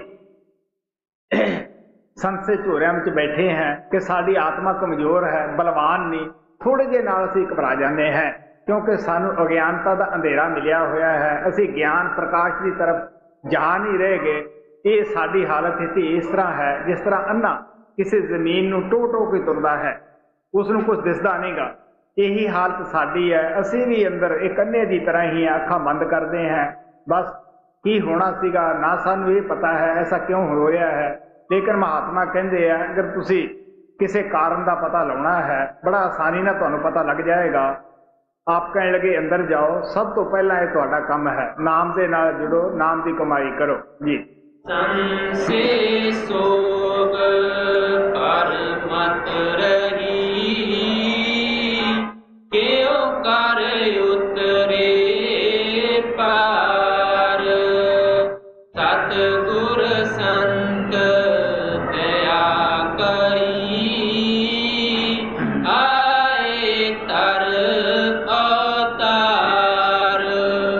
ਕਹਿਣ ਲੱਗੇ, ਪਰਮਾਤਮਾ ਜਦ ਦਇਆ ਕਰਦਾ ਹੈ, ਆਪਣੇ ਪਿਆਰੇ ਬੱਚੇ ਨੂੰ ਮਹਾਤਮਾ ਬਣਾ ਕੇ ਸੰਸਾਰ ਵਿੱਚ ਭੇਜਦਾ ਹੈ। ਮਹਾਤਮਾ ਸਾਡੇ ਤਪਦੇ ਦਿਲਾਂ ਦੇ ਉੱਤੇ ਦਇਆ ਦਾ ਬਾਰਿਸ਼ ਕਰਨ ਵਾਸਤੇ ਹੀ ਆਉਂਦੇ ਹੈ। ਹੋਰ ਉਹਨਾਂ ਦਾ ਕੋਈ ਮਕਸਦ ਨਹੀਂ ਹੁੰਦਾ, ਜਿੰਨਾ ਆਤਮਾ ਦੇ ਅੰਦਰ ਤੜਪ ਹੁੰਦੀ ਹੈ, ਪਰਮਾਤਮਾ ਦੇ ਮਿਲਣ ਵਾਸਤੇ ਜਲਨ ਪੈਦਾ ਹੁੰਦੀ ਹੈ, ਉਹਨਾਂ ਦੇ ਉੱਤੇ ਉਹ ਨਾਮ ਦੇ ਛੱਟੇ ਮਾਰ ਕੇ ਉਹਨਾਂ ਦੀ ਅਗਨੀ ਨੂੰ ਠੰਡੀ ਕਰਦਾ ਹੈ ਔਰ ਜਿਸ ਚੀਜ਼ ਦੀ ਉਹਨਾਂ ਨੂੰ ਚਾਹਨਾ ਹੁੰਦੀ ਹੈ ਨਾਮ ਦੀ ਕਮਾਈ ਦੀ ਉਹ ਉਹਨਾਂ ਨੂੰ ਦੇ ਦਿੰਦਾ ਹੈ, ਆਤਮਾ ਨੂੰ ਸ਼ਾਂਤੀ ਆ ਜਾਂਦੀ ਹੈ। ਇਸ ਵਾਸਤੇ ਆਪ ਕਹਿਣ ਲੱਗੇ ਕਿ ਉਹ ਪ੍ਰਮਾਤਮਾ ਸੰਤ ਰੂਪ ਹੋਵੇ, ਸੰਸਾਰ ਵਿੱਚ ਆਉਂਦਾ ਹੈ ਦਇਆ ਕਰਨ ਦਾ ਇਹੀ ਪਰਮਾਤਮਾ ਨੇ ਤਰੀਕਾ ਬਣਾਇਆ ਹੈ। ਸਵਾਮੀ ਜੀ ਮਹਾਰਾਜ ਕਹਿੰਦੇ ਹੈ ਕਿ ਸੰਤ ਰੂਪ ਧਰ ਜਗ ਮੇ ਆਇਆ। ਉਹੀ ਪਰਮਾਤਮਾ ਮਹਾਤਮਾ ਦੇ ਰੂਪ ਵਿੱਚ ਆ ਜਾਂਦਾ ਹੈ। ਕਬੀਰ ਸਾਹਿਬ ਕਹਿੰਦੇ ਹੈ, ਹਮਰਾ ਭਰਤਾ ਵੱਡੋ ਵਿਵੇਕੀ ਆਪੇ ਸੰਤ ਕਹਾਵੈ। ਉਹ ਹਮਾਰੇ ਮਾਥੇ ਕੈਨ ਔਰ ਹਮਾਰੇ ਨਿਕਟ ਨ ਆਵੈ ਜੀ ਸਤ ਗੁਰ ਸੰਤ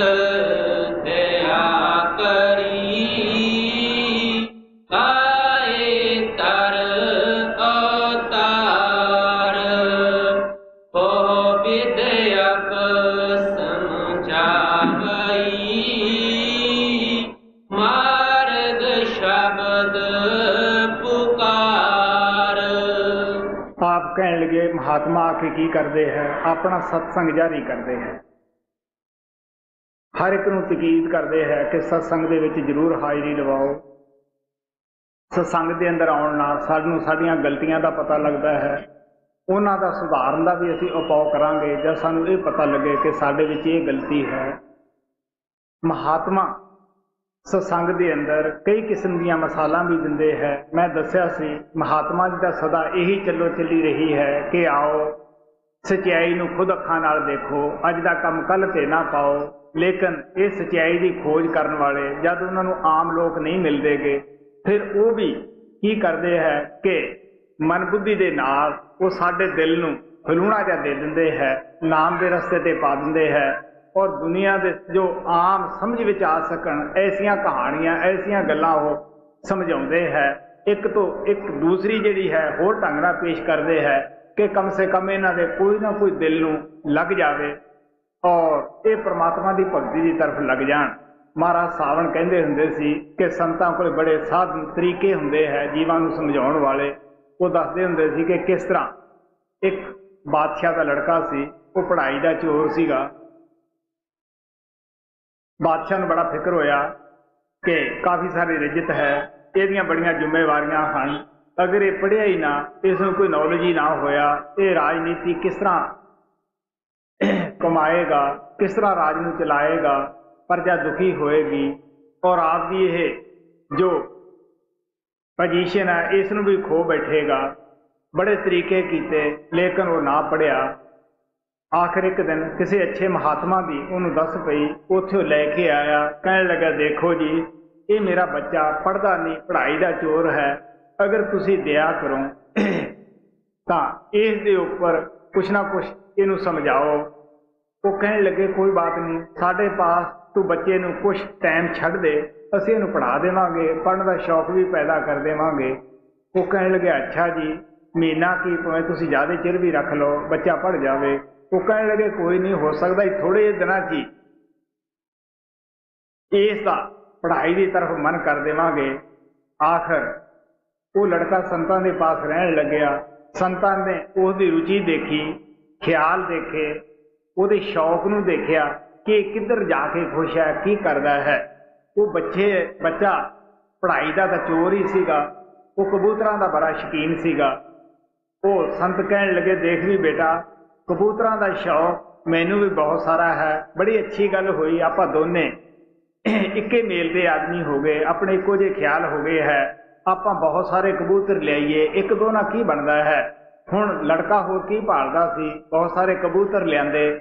ਤੁਹਾਨੂੰ ਪਤਾ ਹੈ ਕਿ ਨਾਮ ਤੋਂ ਬਗੈਰ ਉਹ ਕੀ ਕਹਿਣ ਕਿ ਕਿਸ ਨੂੰ ਕੀ ਚੋਗਾ ਦੇਣਾ ਹੈ, ਕਿਹੜਾ ਚੰਗਾ ਹੈ, ਕਿਹੜਾ ਮਾੜਾ ਹੈ, ਉਹ ਕਹਿਣ ਲੱਗੇ ਕਿ ਦੇਖ ਵੀ ਆਪਾਂ ਹੁਣ ਇਹਨਾਂ ਦੇ ਨਾਮ ਕਰੀਏ। ਕੀ ਨਾਮ ਧਰੀਏ ਕਿ ਆਪਾਂ ਕਿਸੇ ਦਾ ਨਾਲ ਫਤਰੋ, ਕਿਸੇ ਦਾ ਨਾ ਬੇ, ਇਸੇ ਤਰ੍ਹਾਂ ਸਾਰੇ ਹੀ ਮੁਹਾਰਨੀ ਦੇ ਆਪਾਂ 35 ਦੇ ਨਾਮ ਰੱਖ ਲੈਨੇ ਹੈ। ਉਹ ਰੱਖ ਲੇ ਫੇਰ ਕਹਿਣ ਲੱਗੇ, ਕਬੂਤਰ ਤਾਂ ਬਹੁਤ ਸਾਰੇ ਹੈ। ਇੱਕ ਇੱਕ ਅਕਸ਼ਰ ਦੇ ਨਾਲ ਤੇ ਪੂਰੇ ਨਹੀਂ ਆ ਸਕਦੇ। ਕਿਉਂ ਨਾ ਆਪਾਂ ਇੱਕ ਦੇ ਹੁਣ ਦੋ ਅੱਖਰਾਂ ਨੂੰ ਜੋੜ ਗਏ, ਫਿਰ ਤਿੰਨਾਂ ਨੂੰ ਜੋੜੀਏ ਹੌਲੀ ਹੌਲੀ ਨਾਮ ਨੂੰ ਉਹ ਵਧਾਉਂਦੇ ਗਏ। ਕਬੂਤਰਾਂ ਦੀ ਗਿਣਤੀ ਆਖਰ ਬੱਚੇ ਨੂੰ ਪੜ੍ਹਨਾ ਪਿਆ, ਕਿਉਂਕਿ ਕਬੂਤਰਾਂ ਦਾ ਸ਼ੌਕ ਸੀਗਾ। ਔਰ ਉਹ ਸ਼ੌਕ ਨੂੰ ਪੂਰਾ ਕਰਨ ਵਾਸਤੇ ਉਹ ਪੜ੍ਹਨ ਲੱਗ ਗਿਆ। ਹੌਲੀ ਹੌਲੀ ਉਹਨਾਂ ਨੇ ਕੀ ਕੀਤਾ? ਕੁਝ ਆਪਣੀ ਤਵੱਜੋ ਦਿੱਤੀ। ਕੁਝ ਉਸ ਨੂੰ ਅੱਛੀਆਂ ਕਿਤਾਬਾਂ, ਜਿਹੜੀਆਂ ਕਿ ਜ਼ਿੰਦਗੀ ਬਣਾਉਣ ਵਾਲੀਆਂ ਸੀ, ਉਹ ਵੀ ਦਿੱਤੀਆਂ।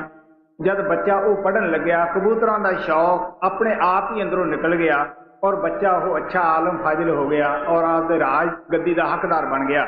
ਸੋ ਸੰਤਾ ਮਹਾਤਮਾ ਦੇ ਅੰਦਰ ਇਹ ਪਰਮਾਤਮਾ ਨੇ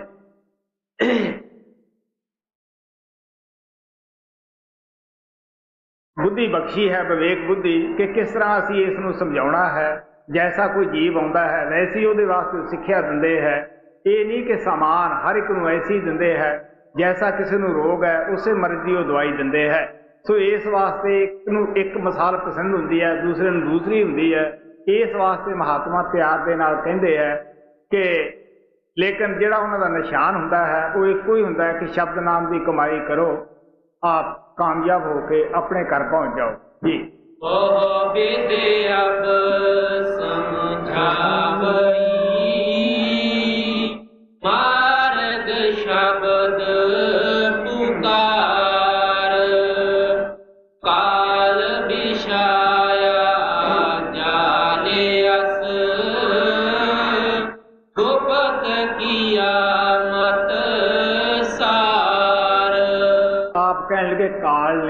ਬੜੇ ਜਾਲ ਵਸਾਏ ਹੋਏ ਹੈ।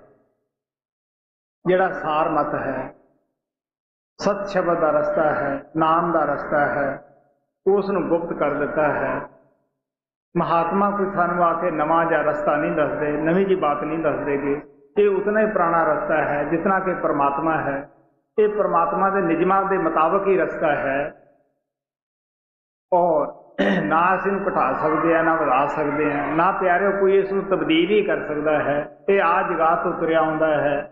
ਸੋ ਇਸ ਵਾਸਤੇ ਆਪ ਕਹਿਣ ਲੱਗੇ, ਕਾਲ ਨੇ ਬੜੇ ਜਾਲ ਵਿਛਾਏ ਹੈ। ਔਰ ਤੁਸੀਂ ਦੇਖ ਹੀ ਸਕਦੇ ਹੋ, ਜਿੱਥੇ ਮਹਾਤਮਾ ਥੋੜਾ ਬਹੁਤਾ ਚਿਰ ਸਤਸੰਗ ਕਰਦਾ ਹੈ, ਨਾਮ ਦਾ ਅਭਿਆਸ ਕਰਦਾ ਹੈ, ਉੱਥੇ ਕੋਈ ਨਾ ਕੋਈ ਅਸੀਂ ਸਰੋਵਰ ਬਣਾ ਕੇ ਬੈਠ ਜਾਂਦੇ ਹਾਂ। ਔਰ ਅਸੀਂ ਉਹਦੇ ਵਿੱਚ ਨਹਾਉਣ ਦੀ ਮੁਕਤੀ ਸਮਝਦੇ ਹਾਂ ਕਿ ਇੱਥੇ ਅਸੀਂ ਨਹਾਉਣ ਦੇ ਨਾਲ ਮੁਕਤੀ ਹੋ ਜਾਏਗੀ। ਹਾਲਾਂਕਿ ਉਸੇ ਮਹਾਤਮਾ ਦੀ ਬਾਣੀ ਦੇ ਅੰਦਰ ਬੜਾ ਹੀ ਕੁਝ ਉਸ ਦਾ ਖੰਡਨ ਕੀਤਾ ਹੁੰਦਾ ਹੈ। ਕਿਸੇ ਮਹਾਤਮਾ ਨੇ ਇਹ ਨਹੀਂ ਕਿਹਾ ਕਿ ਤੁਸੀਂ ਕਿਸੇ ਵੀ ਦਰਿਆ ਦੇ ਅੰਦਰ ਜਾਂ ਤਲਾਬ ਦੇ ਅੰਦਰ ਨਹਾ ਕੇ ਮੁਕਤ ਹੋ ਜਾਓਗੇ। ਹਰ ਮਹਾਤਮਾ ਨੇ ਮੁਕਤੀ ਨਾਮ ਦੇ ਵਿੱਚ ਦੱਸੀ ਹੈ। ਕਬੀਰ ਸਾਹਿਬ ਤਾਂ ਇਹ ਕਹਿੰਦੇ ਹੈ ਬੇਸ਼ੱਕ ਤੁਸੀਂ ਗੰਗਾ ਦੇ ਕਿਨਾਰੇ ਘਰ ਪਾ ਲਓ, ਗੰਗਾ ਦੇ ਉੱਤੇ ਰੋਜ਼ ਦਾ ਪਾਣੀ ਪੀਣਾ ਵੀ ਸ਼ੁਰੂ ਕਰ ਦਿਓ। ਕਹਿਣ ਲੱਗੇ, ਫਿਰ ਵੀ ਭਗਤੀ ਬਿਨਾ ਨਾਮ ਤੋਂ ਬਗੈਰ ਤੁਹਾਡੀ ਮੁਕਤੀ ਨਹੀਂ ਹੋ ਸਕਦੀ। ਕਹਿਣ ਲੱਗੇ, ਗੰਗਾ ਤੀਰ ਜੇ ਘਰ ਕਰੇ ਪੀਵੇ ਨਿਰਮਲ ਨੀਰ। ਬਿਨ ਹਰ ਭਗਤ ਨਾ ਮੁਕਤ ਹੋਏ, ਇਉਂ ਕਤ ਰਹੇ ਕਬੀਰ। ਕਬੀਰ ਸਾਹਿਬ ਕਹਿਣ ਲੱਗੇ, ਭਗਤੀ ਤੋਂ ਬਗੈਰ ਮੁਕਤੀ ਨਹੀਂ ਹੋ ਸਕਦੀ। ਕਬੀਰ ਸਾਹਿਬ ਕਹਿਣ ਲੱਗੇ, ਤੁਸੀਂ ਠੰਡੇ ਦਿਲ ਨਾਲ ਵਿਚਾਰ ਨਾ ਦੇਖੋ, ਉਥੇ ਡੱਡੂ, ਮੱਛੀਆਂ ਮੈਂਡਕ ਵਗੈਰਾ। ਕਿਤਨੇ ਜੀਵ ਰਹਿੰਦੇ ਹੈ, ਉਹ ਤਾਂ ਰੋਜ਼ ਹੀ ਉੱਥੇ ਰਹਿੰਦੇ ਆ ਖਾਣ ਪਾਣ ਵੀ ਉੱਥੇ ਹੀ ਕਰਦੇ ਹੈ। ਜਦ ਉਹ ਮੁਕਤ ਨਹੀਂ ਗਾ, ਇਨਸਾਨ ਸਾਲ ਜਾਂ 2 ਸਾਲ ਤੋਂ ਨਾ ਕੇ ਕਿਸ ਤਰ੍ਹਾਂ ਹੋ ਸਕਦਾ ਹੈ? ਕਬੀਰ ਸਾਹਿਬ ਕਹਿੰਦੇ ਹੈ ਕਿ ਜਲ ਕਾ ਮੰਜਨ ਜੇ ਗਤ ਹੋਵੇ ਨਿਤ ਨਿਤ ਮੈਂਡਕ ਨਾਵੇ, ਜੈਸੇ ਮੈਂਡਕ ਤੈਸੇ ਉਹ ਨਰ, ਫਿਰ ਫਿਰ ਜੋਨੀ ਆਵੇ। ਕਹਿਣ ਲੱਗੇ, ਐਸਾ ਹੀ ਉਹ ਇਨਸਾਨ ਹੈ ਜਿਹੜਾ ਉੱਥੇ ਨਹਾਉਂਦਾ ਹੈ। ਗੁਰੂ ਨਾਨਕ ਕਹਿੰਦੇ ਹੈ, ਸੱਚਾ ਜਿਹੜਾ ਇਸ਼ਨਾਨ ਹੈ, ਸਰੋਵਰ ਹੈ, ਉਹ ਤੁਹਾਡਾ ਸਰੀਰ ਹੈ। ਆਪ ਕਹਿ ਲਈ ਇਹ ਸਰੀਰ ਸਰਬਰ ਹੈ ਸੰਤੋ। ਇਸ਼ਨਾਨ ਕਰੇ ਲਿਵਲਾਏ, ਨਾਮ ਇਸ਼ਨਾਨ ਕਰੇ, ਸੇ ਜਨ ਨਿਰਮਲ ਸ਼ਬਦੇ ਮੈਲ ਗਵਾਏ। ਇਸ ਵਾਸਤੇ ਆਪ ਪਿਆਰ ਦੇ ਨਾਲ ਕਹਿੰਦੇ ਹੈ, ਜੋ ਨਾਮ ਦੀ ਕਮਾਈ ਹੈ, ਇੱਕ ਮਹਾਤਮਾ ਇੱਕ ਭਰਮ ਕੱਢ ਕੇ ਜਾਂਦਾ ਹੈ। ਸਾਡੇ ਮਨ ਦੀ ਆਦਤ ਹੈ, ਕਾਲ ਦੀ ਆਦਤ ਹੈ, ਧੋਖਾ ਹੈ। ਉਹ 20 25 ਹੋਰ ਭਰਮ ਪਾ ਦਿੰਦਾ ਹੈ। ਅਸੀਂ ਉਹਨੇ ਭਰਮਾਂ ਵਹਿਮਾਂ ਦੇ ਵਿੱਚ ਫਸੇ ਰਹਿੰਦੇ ਹਾਂ। ਜੀ। ਕਾਲ ਵਿਛਾਇਆ ਜਾਲੇ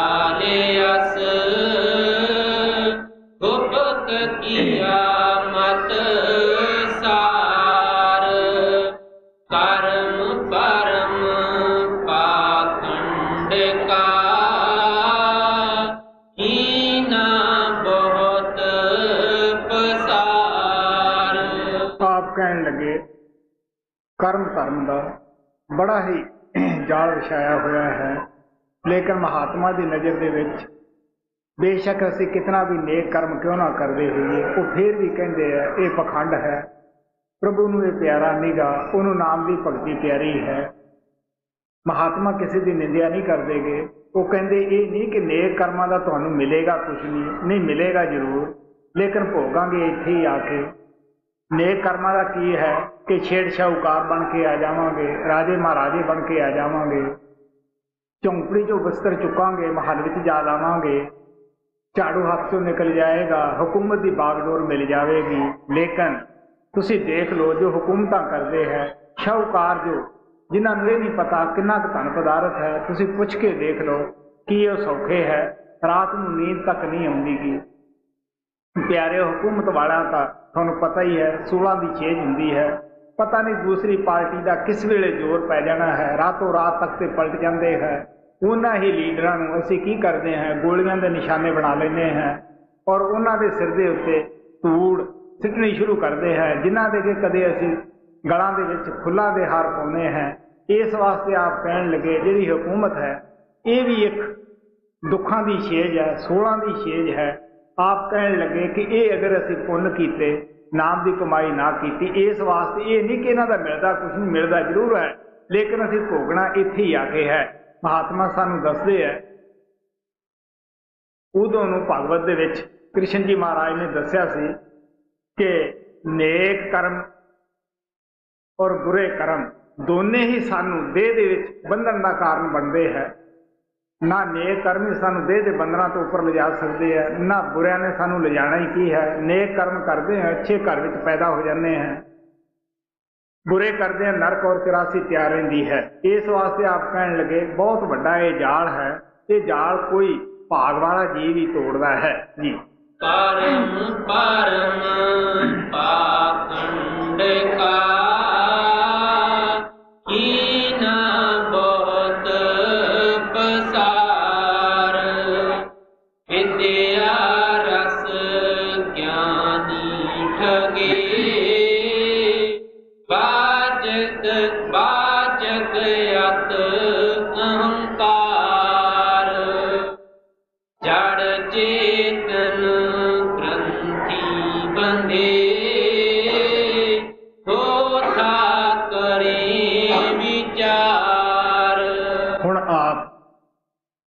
ਪੜ੍ਹੇ ਲਿਖੇ ਦੀ ਤਰਫ ਹੁੰਦੇ ਹੈ। ਮਹਾਤਮਾ ਕਿਸੇ ਵੀ ਪੜ੍ਹ ਪੜਾਈ ਨੂੰ ਬੁਰਾ ਨਹੀਂ ਕਹਿੰਦੇ ਗੇ। ਉਹ ਕਹਿੰਦੇ, ਪੜ੍ਹਨਾ ਅੱਛਾ ਹੈ ਪੜੋ ਲੇਕਿਨ ਸੋਚ ਕੇ ਪੜੋ ਅਸੀਂ ਕੀ ਪੜ੍ਹਦੇ ਹਾਂ? ਸਾਡੇ ਵਿੱਚ ਕੀ ਕਮੀਆਂ ਹਨ? ਅਸੀਂ ਇਹਨਾਂ ਨੂੰ ਕਿਸ ਤਰ੍ਹਾਂ ਦੂਰ ਕਰਨਾ ਹੈ? ਪੜ੍ਹਨਾ ਇਸ ਤਰ੍ਹਾਂ ਹੈ, ਜਿਸ ਤਰ੍ਹਾਂ ਆਪਾਂ ਕਿਸੇ ਬਰਤਨ ਨੂੰ ਸਾਫ਼ ਕਰ ਰਹੀ, ਕਰ ਰਹੇ ਹੋਈਏ। ਅੱਛਾ ਹੈ ਲੇਕਿਨ ਜੇ ਸਾਰੀ ਜ਼ਿੰਦਗੀ ਬਰਤਨ ਨੂੰ ਸਾਫ਼ ਹੀ ਕਰਦੇ ਰਹੀਏ, ਉਹਦੇ ਵਿੱਚ ਕੋਈ ਵਸਤੂ ਨਾ ਪਾਈਏ, ਤੁਸੀਂ ਸੋਚ ਕੇ ਦੇਖ ਸਕਦੇ ਹੋ, ਪੜ੍ਹਾਈ ਦਾ ਕੰਮ ਤਾਂ ਇਹ ਹੈ ਕਿ ਸਾਡੇ ਅੰਦਰ ਨਿਮਰਤਾ ਆਵੇ, ਸਾਡੇ ਅੰਦਰ ਪਿਆਰ ਪੈਦਾ ਆਵੇ, ਪ੍ਰਭੂ ਦੀ ਭਗਤੀ ਜਾਗੇ। ਜੇ ਇਹ ਚੀਜ਼ਾਂ ਸਾਡੇ ਵਿੱਚ ਨਹੀਂ, ਤਾਂ ਸਾਡਾ ਪੜ੍ਹਿਆ ਜਾਂ ਕਿਸੇ ਤੋਂ ਪੜਾਇਆ ਕਿਸ ਕੰਮ ਹੈ? ਕਬੀਰ ਸਾਹਿਬ ਕੀ ਕਹਿੰਦੇ ਹੈ? ਕਾਮ, ਕ੍ਰੋਧ, ਲੋਭ, ਮੋਹ, ਹੰਕਾਰ ਦੀ ਜਬ ਲਗ ਘਟ ਮੇ ਖਾਨ, ਕਿਆ ਪੰਡਤ, ਕਿਆ ਮੂਰਖਾ, ਦੋਨੇ ਏਕ ਸਮਾਨ। ਜਿੰਨਾ ਚਿਰ ਸਾਡੇ ਅੰਦਰ ਇਹ ਪੰਜੇ ਡਾਕੂਆਂ ਦਾ ਰਾਜ ਹੈ ਪੜਿਆ ਅਣਪੜਿਆ ਇੱਕ ਬਰਾਬਰ ਹੀ ਹੁੰਦਾ ਹੈ, ਗੁਰੂ ਨਾਨਕ ਕੀ ਕਹਿੰਦੇ ਹੈ, ਨਾਨਕ ਤੇ ਨਰ ਅਸਲ ਖਰ, ਜੋ ਬਿਨ ਗੁਰ ਗਰਭ ਕਰੰਤ, ਸੁਰਤ ਅੰਦਰ ਨਹੀਂ ਗਈ, ਨਾਮ ਨਾਲ ਜੁੜੀ ਨਹੀਂ, ਖੁਦ ਮਨ ਨੂੰ ਸ਼ਾਂਤੀ ਨਹੀਂ, ਲੋਕਾਂ ਨੂੰ ਸ਼ਾਂਤੀ ਦਾ ਉਪਦੇਸ਼ ਕਰਦੇ ਹੈ, ਲੋਕਾਂ ਨੂੰ ਕਹਿੰਦੇ ਤੁਸੀਂ ਕਮਾਈ ਕਰੋ ਇਸ ਵਾਸਤੇ ਆ ਪਿਆਰ ਨਾਲ ਕਹਿੰਦੇ ਹੈ, ਸਭ ਤੋਂ ਪਹਿਲਾਂ ਆਪਣੇ ਦਿਲ ਦੇ ਵਿੱਚ ਇਹ ਵਿਅਕਤੀਗਤ ਮਸਲਾ ਹੈ ਇਹ ਇਕੱਠੇ ਹੋ ਕੇ ਲੋਕਾਂ ਨੇ ਜੇ ਸਾਡਾ ਮਸਲਾ ਹੱਲ ਕਰਨਾ, ਇਹ ਅਸੀਂ ਖੁਦ ਕਰਨਾ ਹੈ। ਹਰ ਇੱਕ ਦਾ ਹੀ ਵਿਅਕਤੀਗਤ ਮਸਲਾ ਹੁੰਦਾ ਹੈ। ਇਸ ਵਾਸਤੇ ਆਪ ਕਹਿਣ ਲੱਗੇ ਅਸੀਂ ਗ੍ਰੰਥਾਂ ਪੋਥੀਆਂ ਦੇ ਉੱਤੇ ਵਿਚਾਰ ਕਰਕੇ ਉਹਨਾਂ ਨੂੰ ਛੱਡ ਦਿੰਨੇ ਹੈ। ਜੋ ਸਾਨੂੰ ਦੱਸਦੀਆਂ ਉਹ ਅਸੀਂ ਕਰਦੇ ਨਹੀਂ। ਇਹ ਸਾਡੇ ਅੰਦਰ ਘਾਟ ਹੈ। ਮਹਾਤਮਾ ਸਾਨੂੰ ਕਹਿੰਦੇ ਹੈ ਪੜਿਆ ਇਲਮ ਅਮਲ ਨਾ ਕੀਤਾ ਪੜਿਆ ਫਿਰ ਪੜਾਇਆ ਕੀ? ਆਦਤ ਖੋਟੀ ਨਾ ਗਵਾਈ ਮੱਥਾ ਫੇਰ ਘਸਾਇਆ ਕੀ? ਜੀ। ਜੜ ਚੇਤਨ ਗ੍ਰੰਥੀ ਬੰਧੇ।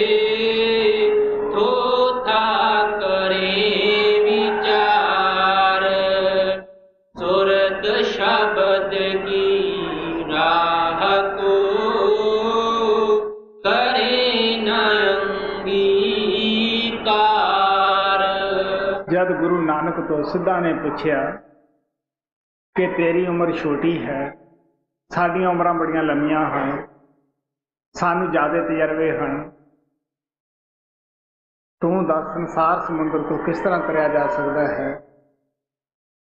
ਖੈਰ, ਉਹਨਾਂ ਦੀ ਚਰਚਾ ਤਾਂ ਬੜੀ ਲੰਮੀ ਚੌੜੀ ਹੋਈ ਸੀਗੀ, ਲੇਕਿਨ ਆਖਰ ਤੇ ਆ ਕੇ ਕਹਿਣ ਲੱਗੇ, ਦੇਖ ਲਓ, ਸੁਰਤ ਸ਼ਬਦ ਦਾ ਜੋ ਅਭਿਆਸ ਹੈ, ਇਹੀ ਸਾਨੂੰ ਭਵ ਸਾਗਰ ਤੋਂ ਪਾਰ ਲਿਜਾ ਸਕਦਾ ਹੈ। ਸੁਰਤ ਸ਼ਬਦ ਦਾ ਅਭਿਆਸੀ ਸੰਸਾਰ ਵਿੱਚ ਕਿਸ ਤਰ੍ਹਾਂ ਰਹਿੰਦਾ ਹੈ? ਜਿਸ ਤਰ੍ਹਾਂ ਮੁਰਗਾਵੀ ਜਲ ਦੇ ਵਿੱਚ ਖਾਂਦੀ ਹੈ ਪੀਂਦੀ ਹੈ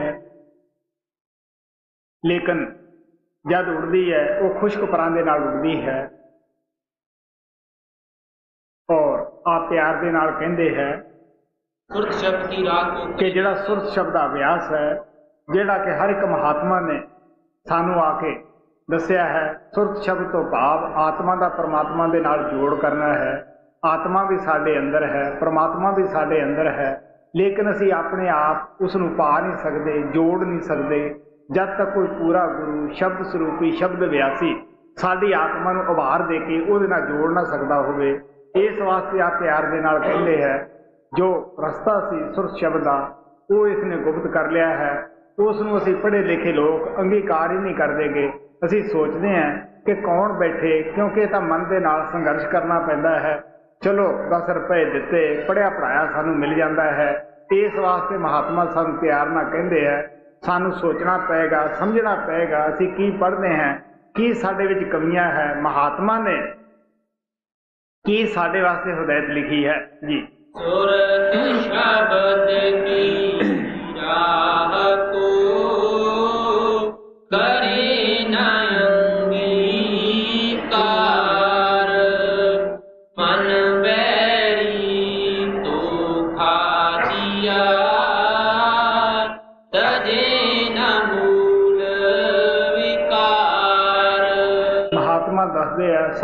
ਦੁਨੀਆ 'ਚ ਕੋਈ ਦੁਸ਼ਮਣ ਨਹੀਂ। ਅਗਰ ਕੋਈ ਦੁਸ਼ਮਣ ਹੈ, ਉਹ ਸਾਡੇ ਅੰਦਰ ਹੀ ਬੈਠਾ ਹੈ। ਅੰਦਰੋਂ ਹੀ ਇਹ ਬੁਰੀਆਂ ਸਲਾਹਾਂ ਦਿੰਦਾ ਹੈ।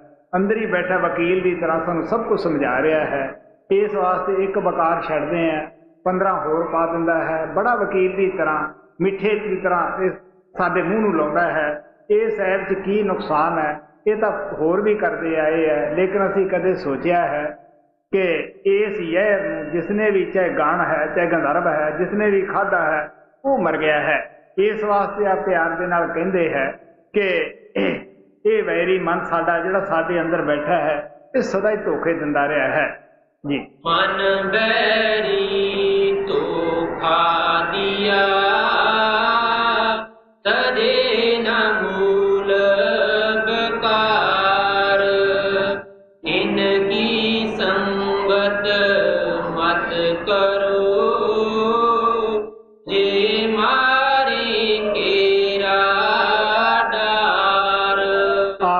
ਲੱਗੇ ਕਿ ਐਡੇ ਦਗਾਬਾਜ਼ ਦੁਸ਼ਮਣ ਦੀ ਸੰਗਤ ਕਰਨੀ ਚਾਹੀਦੀ ਹੈ, ਕਿ ਇਹਦਾ ਕਿਹਾ ਮੰਨਣਾ ਚਾਹੀਦਾ ਹੈ, ਜਿਹੜਾ ਦੁਸ਼ਮਣ ਦੇ ਹੱਥ ਆਪਣੀ ਬਾਗਡੋਰ ਸੌਂਪ ਦੇਵੇ, ਕਿ ਉਹ ਬਚਣ ਦੀ ਉਮੀਦ ਕਰਦਾ ਹੈ।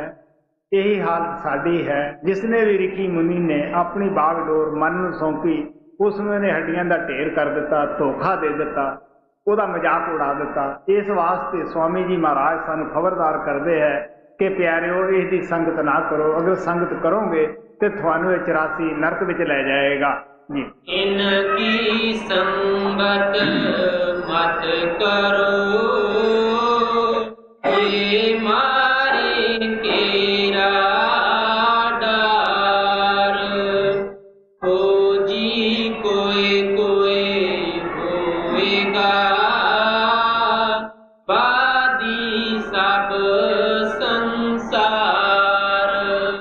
ਸਤਿਗੁਰੂ ਕਹਿੰਦੇ ਹੁੰਦੇ ਸੀ ਕਿ ਦੁਨੀਆ ਦੇ ਵਿੱਚ ਸਚਾਈ ਦਾ ਨਾਸ ਨਹੀਂ ਹੁੰਦਾਗਾ, ਜ਼ਰੂਰ ਹੁੰਦੀ ਹੈ। ਕਹਿਣ ਲੱਗੇ, ਕੋਈ ਵਿਰਲਾ ਖੋਜੀ ਹੋਏਗਾ। ਬਾਕੀ ਕੀ ਹੈ ਕਿ ਝਗੜਾ ਕਰਨ ਵਾਲੇ ਹੋਣਗੇ? ਬਹਿ ਸੰਵਾਸਾ ਕਰਨ ਵਾਲੇ ਹੋਣਗੇ? ਤੁਸੀਂ ਸੋਚ ਕੇ ਦੇਖ ਸਕਦੇ ਹੋ, ਠੰਡੇ ਦਿਲ ਨਾਲ, ਜਿਹਨੂੰ ਪਿਆਸ ਲੱਗੀ ਹੁੰਦੀ ਹੈ, ਉਹ ਇਹ ਨਹੀਂ ਪੁੱਛਦਾ ਕਿ ਪਾਣੀ ਕਿਸ ਦਾ ਹੈ। ਉਹ ਕਹਿੰਦਾ, ਪਾਣੀ ਪਿਆ ਦੇ। ਅਗਰ ਕਿਸੇ ਨੂੰ ਰਾਗ ਵਿਦਿਆ ਦੀ ਸ਼ੌਕ ਹੈ, ਉਹ ਜਾ ਕੇ ਜੋ ਰਾਗ ਵਿਦਿਆ ਦਾ ਮਾਹਰ ਹੁੰਦਾ ਹੈ ਉਸ ਦੇ ਜੋੜੇ ਝਾੜੇਗਾ, ਉਹਦੀ ਖਿਦਮਤ ਕਰੇਗਾ, ਪਿਆਰ ਕਰੇਗਾ, ਕਿਉਂਕਿ ਦਿਲ ਵਿੱਚ ਸ਼ੌਕ ਹੈ ਕਿ ਇਹ ਹੁਨਰ ਆਪ ਦਾ ਮੈਨੂੰ ਵੀ ਦੇ ਦੇਵੇ, ਮੈਨੂੰ ਵੀ ਸਿੱਖਣ ਦਾ ਮੌਕਾ ਮਿਲ ਜਾਵੇ।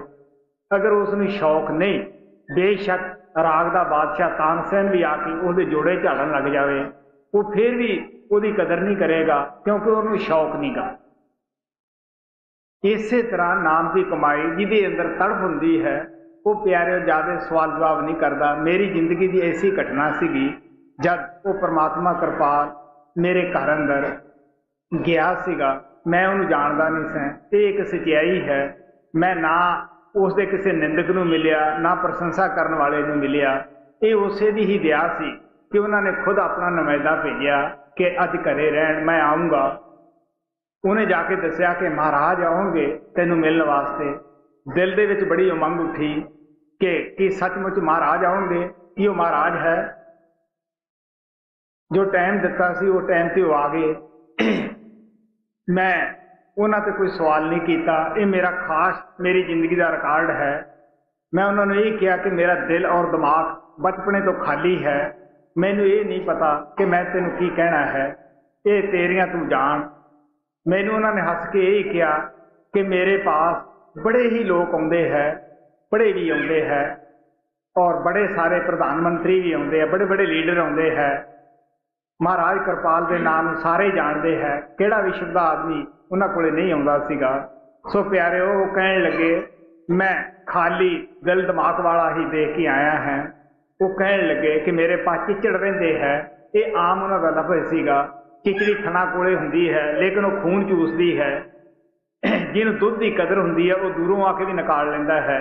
ਇਸ ਵਾਸਤੇ ਮੈਂ ਨਹੀਂ ਪੁੱਛਿਆ ਕਿ ਤੂੰ ਗ੍ਰਸਤੀ ਹੈ ਜਾਂ ਤੂੰ ਤਿਆਗੀ ਹੈ, ਤੇਰੇ ਕੀ ਬਾਲ ਬੱਚੇ ਹਨ? ਔਰ ਨਾ ਮੈਨੂੰ ਇਹਨਾਂ ਚੀਜ਼ਾਂ ਦੇ ਨਾਲ ਕੋਈ ਗਿਆਨ ਹੀ ਸੀਗਾ, ਕਿਉਂਕਿ ਕਬੀ, ਬਾਬਾ ਸਾਵਣ ਸਿੰਘ ਕਬੀਰ ਸਾਹਿਬ ਦੀ ਸਦਾ ਮਿਸਾਲ ਦਿੰਦੇ ਹੁੰਦੇ ਸੀਗੇ। ਕਿ ਸਾਧੂ ਦੀ ਜਾਤ ਨਹੀਂ ਪੁੱਛੀ ਦੀ ਹੁੰਦੀ। ਗਿਆਨ ਪੁੱਛ ਲਈਦਾ ਹੁੰਦਾ ਹੈ, ਮੁੱਲ ਤਲਵਾਰ ਦਾ ਕਰੀਦਾ ਹੁੰਦਾ ਹੈ, ਮਿਆਨ ਦਾ ਮੁੱਲ ਨਹੀਂ ਕਰੀਦਾ ਹੁੰਦਾਗਾ। ਉਹ ਕਹਿੰਦੇ, ਅਸੀਂ ਕੋਈ ਸਾਧੂ ਨਾਲ ਰਿਸ਼ਤਾ ਨਾਤਾ ਨਹੀਂ ਕਰਨਾਗਾ। ਅਸੀਂ ਤਾਂ ਸਿਰਫ ਉਹ ਤੋਂ ਨਾਮ ਲੈਣਾ ਹੈ, ਨਾਮ ਦੀ ਕਮਾਈ ਕਰਨੀ ਹੈ।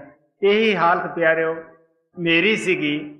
ਔਰ ਜਦ ਸਾਡੇ ਅੰਦਰ ਇਹ ਸ਼ਰਧਾ ਹੋਵੇ, ਪਿਆਰ ਹੋਵੇ, ਤੜਫ ਹੋਵੇ ਅਸੀਂ ਖੋਜੀ ਹੋਈਏ, ਕਿਉਂਕਿ ਮੈਂ ਬਚਪਨੇ ਤੋਂ ਇਸ ਪਾਸੇ ਲੱਗਿਆ ਹੋਇਆ ਸੀਗਾ। ਮੈਂ ਇਹ ਵੀ ਨਹੀਂ ਕਹਿੰਦਾ ਕਿ ਮੈਂ ਕਿਸ ਵਕਤ ਦਾ ਇਸ ਪਾਸੇ ਲੱਗਿਆ ਸੀਗਾ, ਕਿਉਂਕਿ ਮੈਂ ਤੇ ਇਹ ਦੇਖਦਾ ਕਿ ਮੈਂ ਆਪਣੀ ਸੁਰਤ ਤੋਂ ਪਹਿਲਾਂ ਵੀ ਮੈਨੂੰ ਆਦਤ ਸੀ ਅਕੇਲੇ ਬੈਠਣਾ, ਪੁੰਜੇ ਬੈਠਣਾ।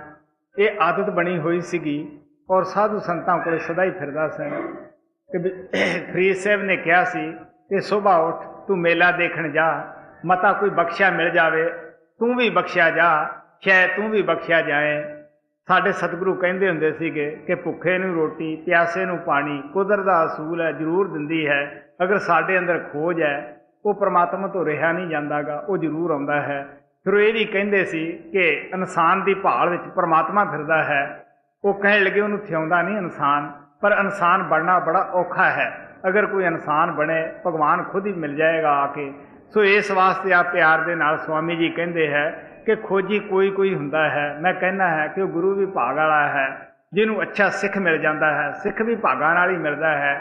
ਇਸੇ ਤਰ੍ਹਾਂ ਪਿਆਰਿਓ, ਗੁਰੂ ਵੀ ਭਾਗਾਂ ਨਾਲ ਮਿਲਦਾ ਹੈ। ਸਿੱਖ ਬਣਨ ਵਾਸਤੇ ਵੀ ਸਾਨੂੰ ਬੜਾ ਹੀ ਕੁਝ ਕਰਨਾ ਪੈਂਦਾ ਹੈ। ਮਨ ਇੰਦਰੀਆਂ ਤੋਂ ਉੱਪਰ ਪੈਂਦਾ ਹੈ। ਸ਼ਬਦ ਨਾਮ ਦੇ ਨਾਲ ਜੁੜ ਕੇ ਉਸ ਨੂਰ ਔਰ ਪ੍ਰਕਾਸ਼ ਦੇ ਵਿੱਚ ਸਮਾਉਣਾ ਪੈਂਦਾ ਹੈ। ਸਿੱਖ ਦੀ ਕੋਈ ਪਦਵੀ ਛੋਟੀ ਜੀ ਨਹੀਂ ਗੀ।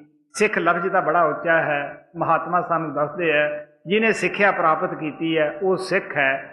ਮੁਸਲਮਾਨ ਵੀ ਉਹੀ ਹੈ, ਜਿਹਦਾ ਦਿਲ ਮੋਮ ਦੀ ਤਰ੍ਹਾਂ ਹੈ, ਜਿਹਦੇ ਅੰਦਰ ਸ਼ਾਂਤੀ ਹੈ ਔਰ ਸਭ ਦੇ ਨਾਲ ਪਿਆਰ ਰੱਖਦਾ ਹੈ। ਆਪ ਕਹਿਣ ਲੱਗੇ, ਉਹਦਾ ਦਿਲ ਮੋਮ ਮੋਮ ਜੈਸਾ ਹੈ, ਮੋਮਨ ਉਸੇ ਨੂੰ ਕਿਹਾ ਗਿਆ ਹੈ। ਸੋ ਆਪ ਸਾਰੇ ਪਿਆਰ ਦੇ ਨਾਲ ਕਹਿੰਦੇ ਹੈ ਕਿ ਖੋਜੀ ਕੋਈ ਕੋਈ ਹੋਵੇਗਾ, ਖੋਜੀ ਜਿਹੜਾ ਆਦਮੀ ਹੈ, ਉਹ ਆ ਕੇ ਜ਼ਿਆਦਾ ਸਵਾਲ ਜਵਾਬ ਨਹੀਂ ਕਰਦਾਗਾ। ਉਹ ਤਾਂ ਕਹਿੰਦਾ, ਦੇਖ ਪਿਆਰਿਆ, ਸ਼ੁਕਰ ਹੈ ਇਸ ਵਕਤ ਨੂੰ ਜਦ ਤੇਰੇ ਨਾਲ ਮੇਰਾ ਮਿਲਾਪ ਹੋ ਗਿਆ ਹੈ। ਜੀ। ਖੋਜੀ ਕੋਏ ਕੋਏ ਹੋਵੇਗਾ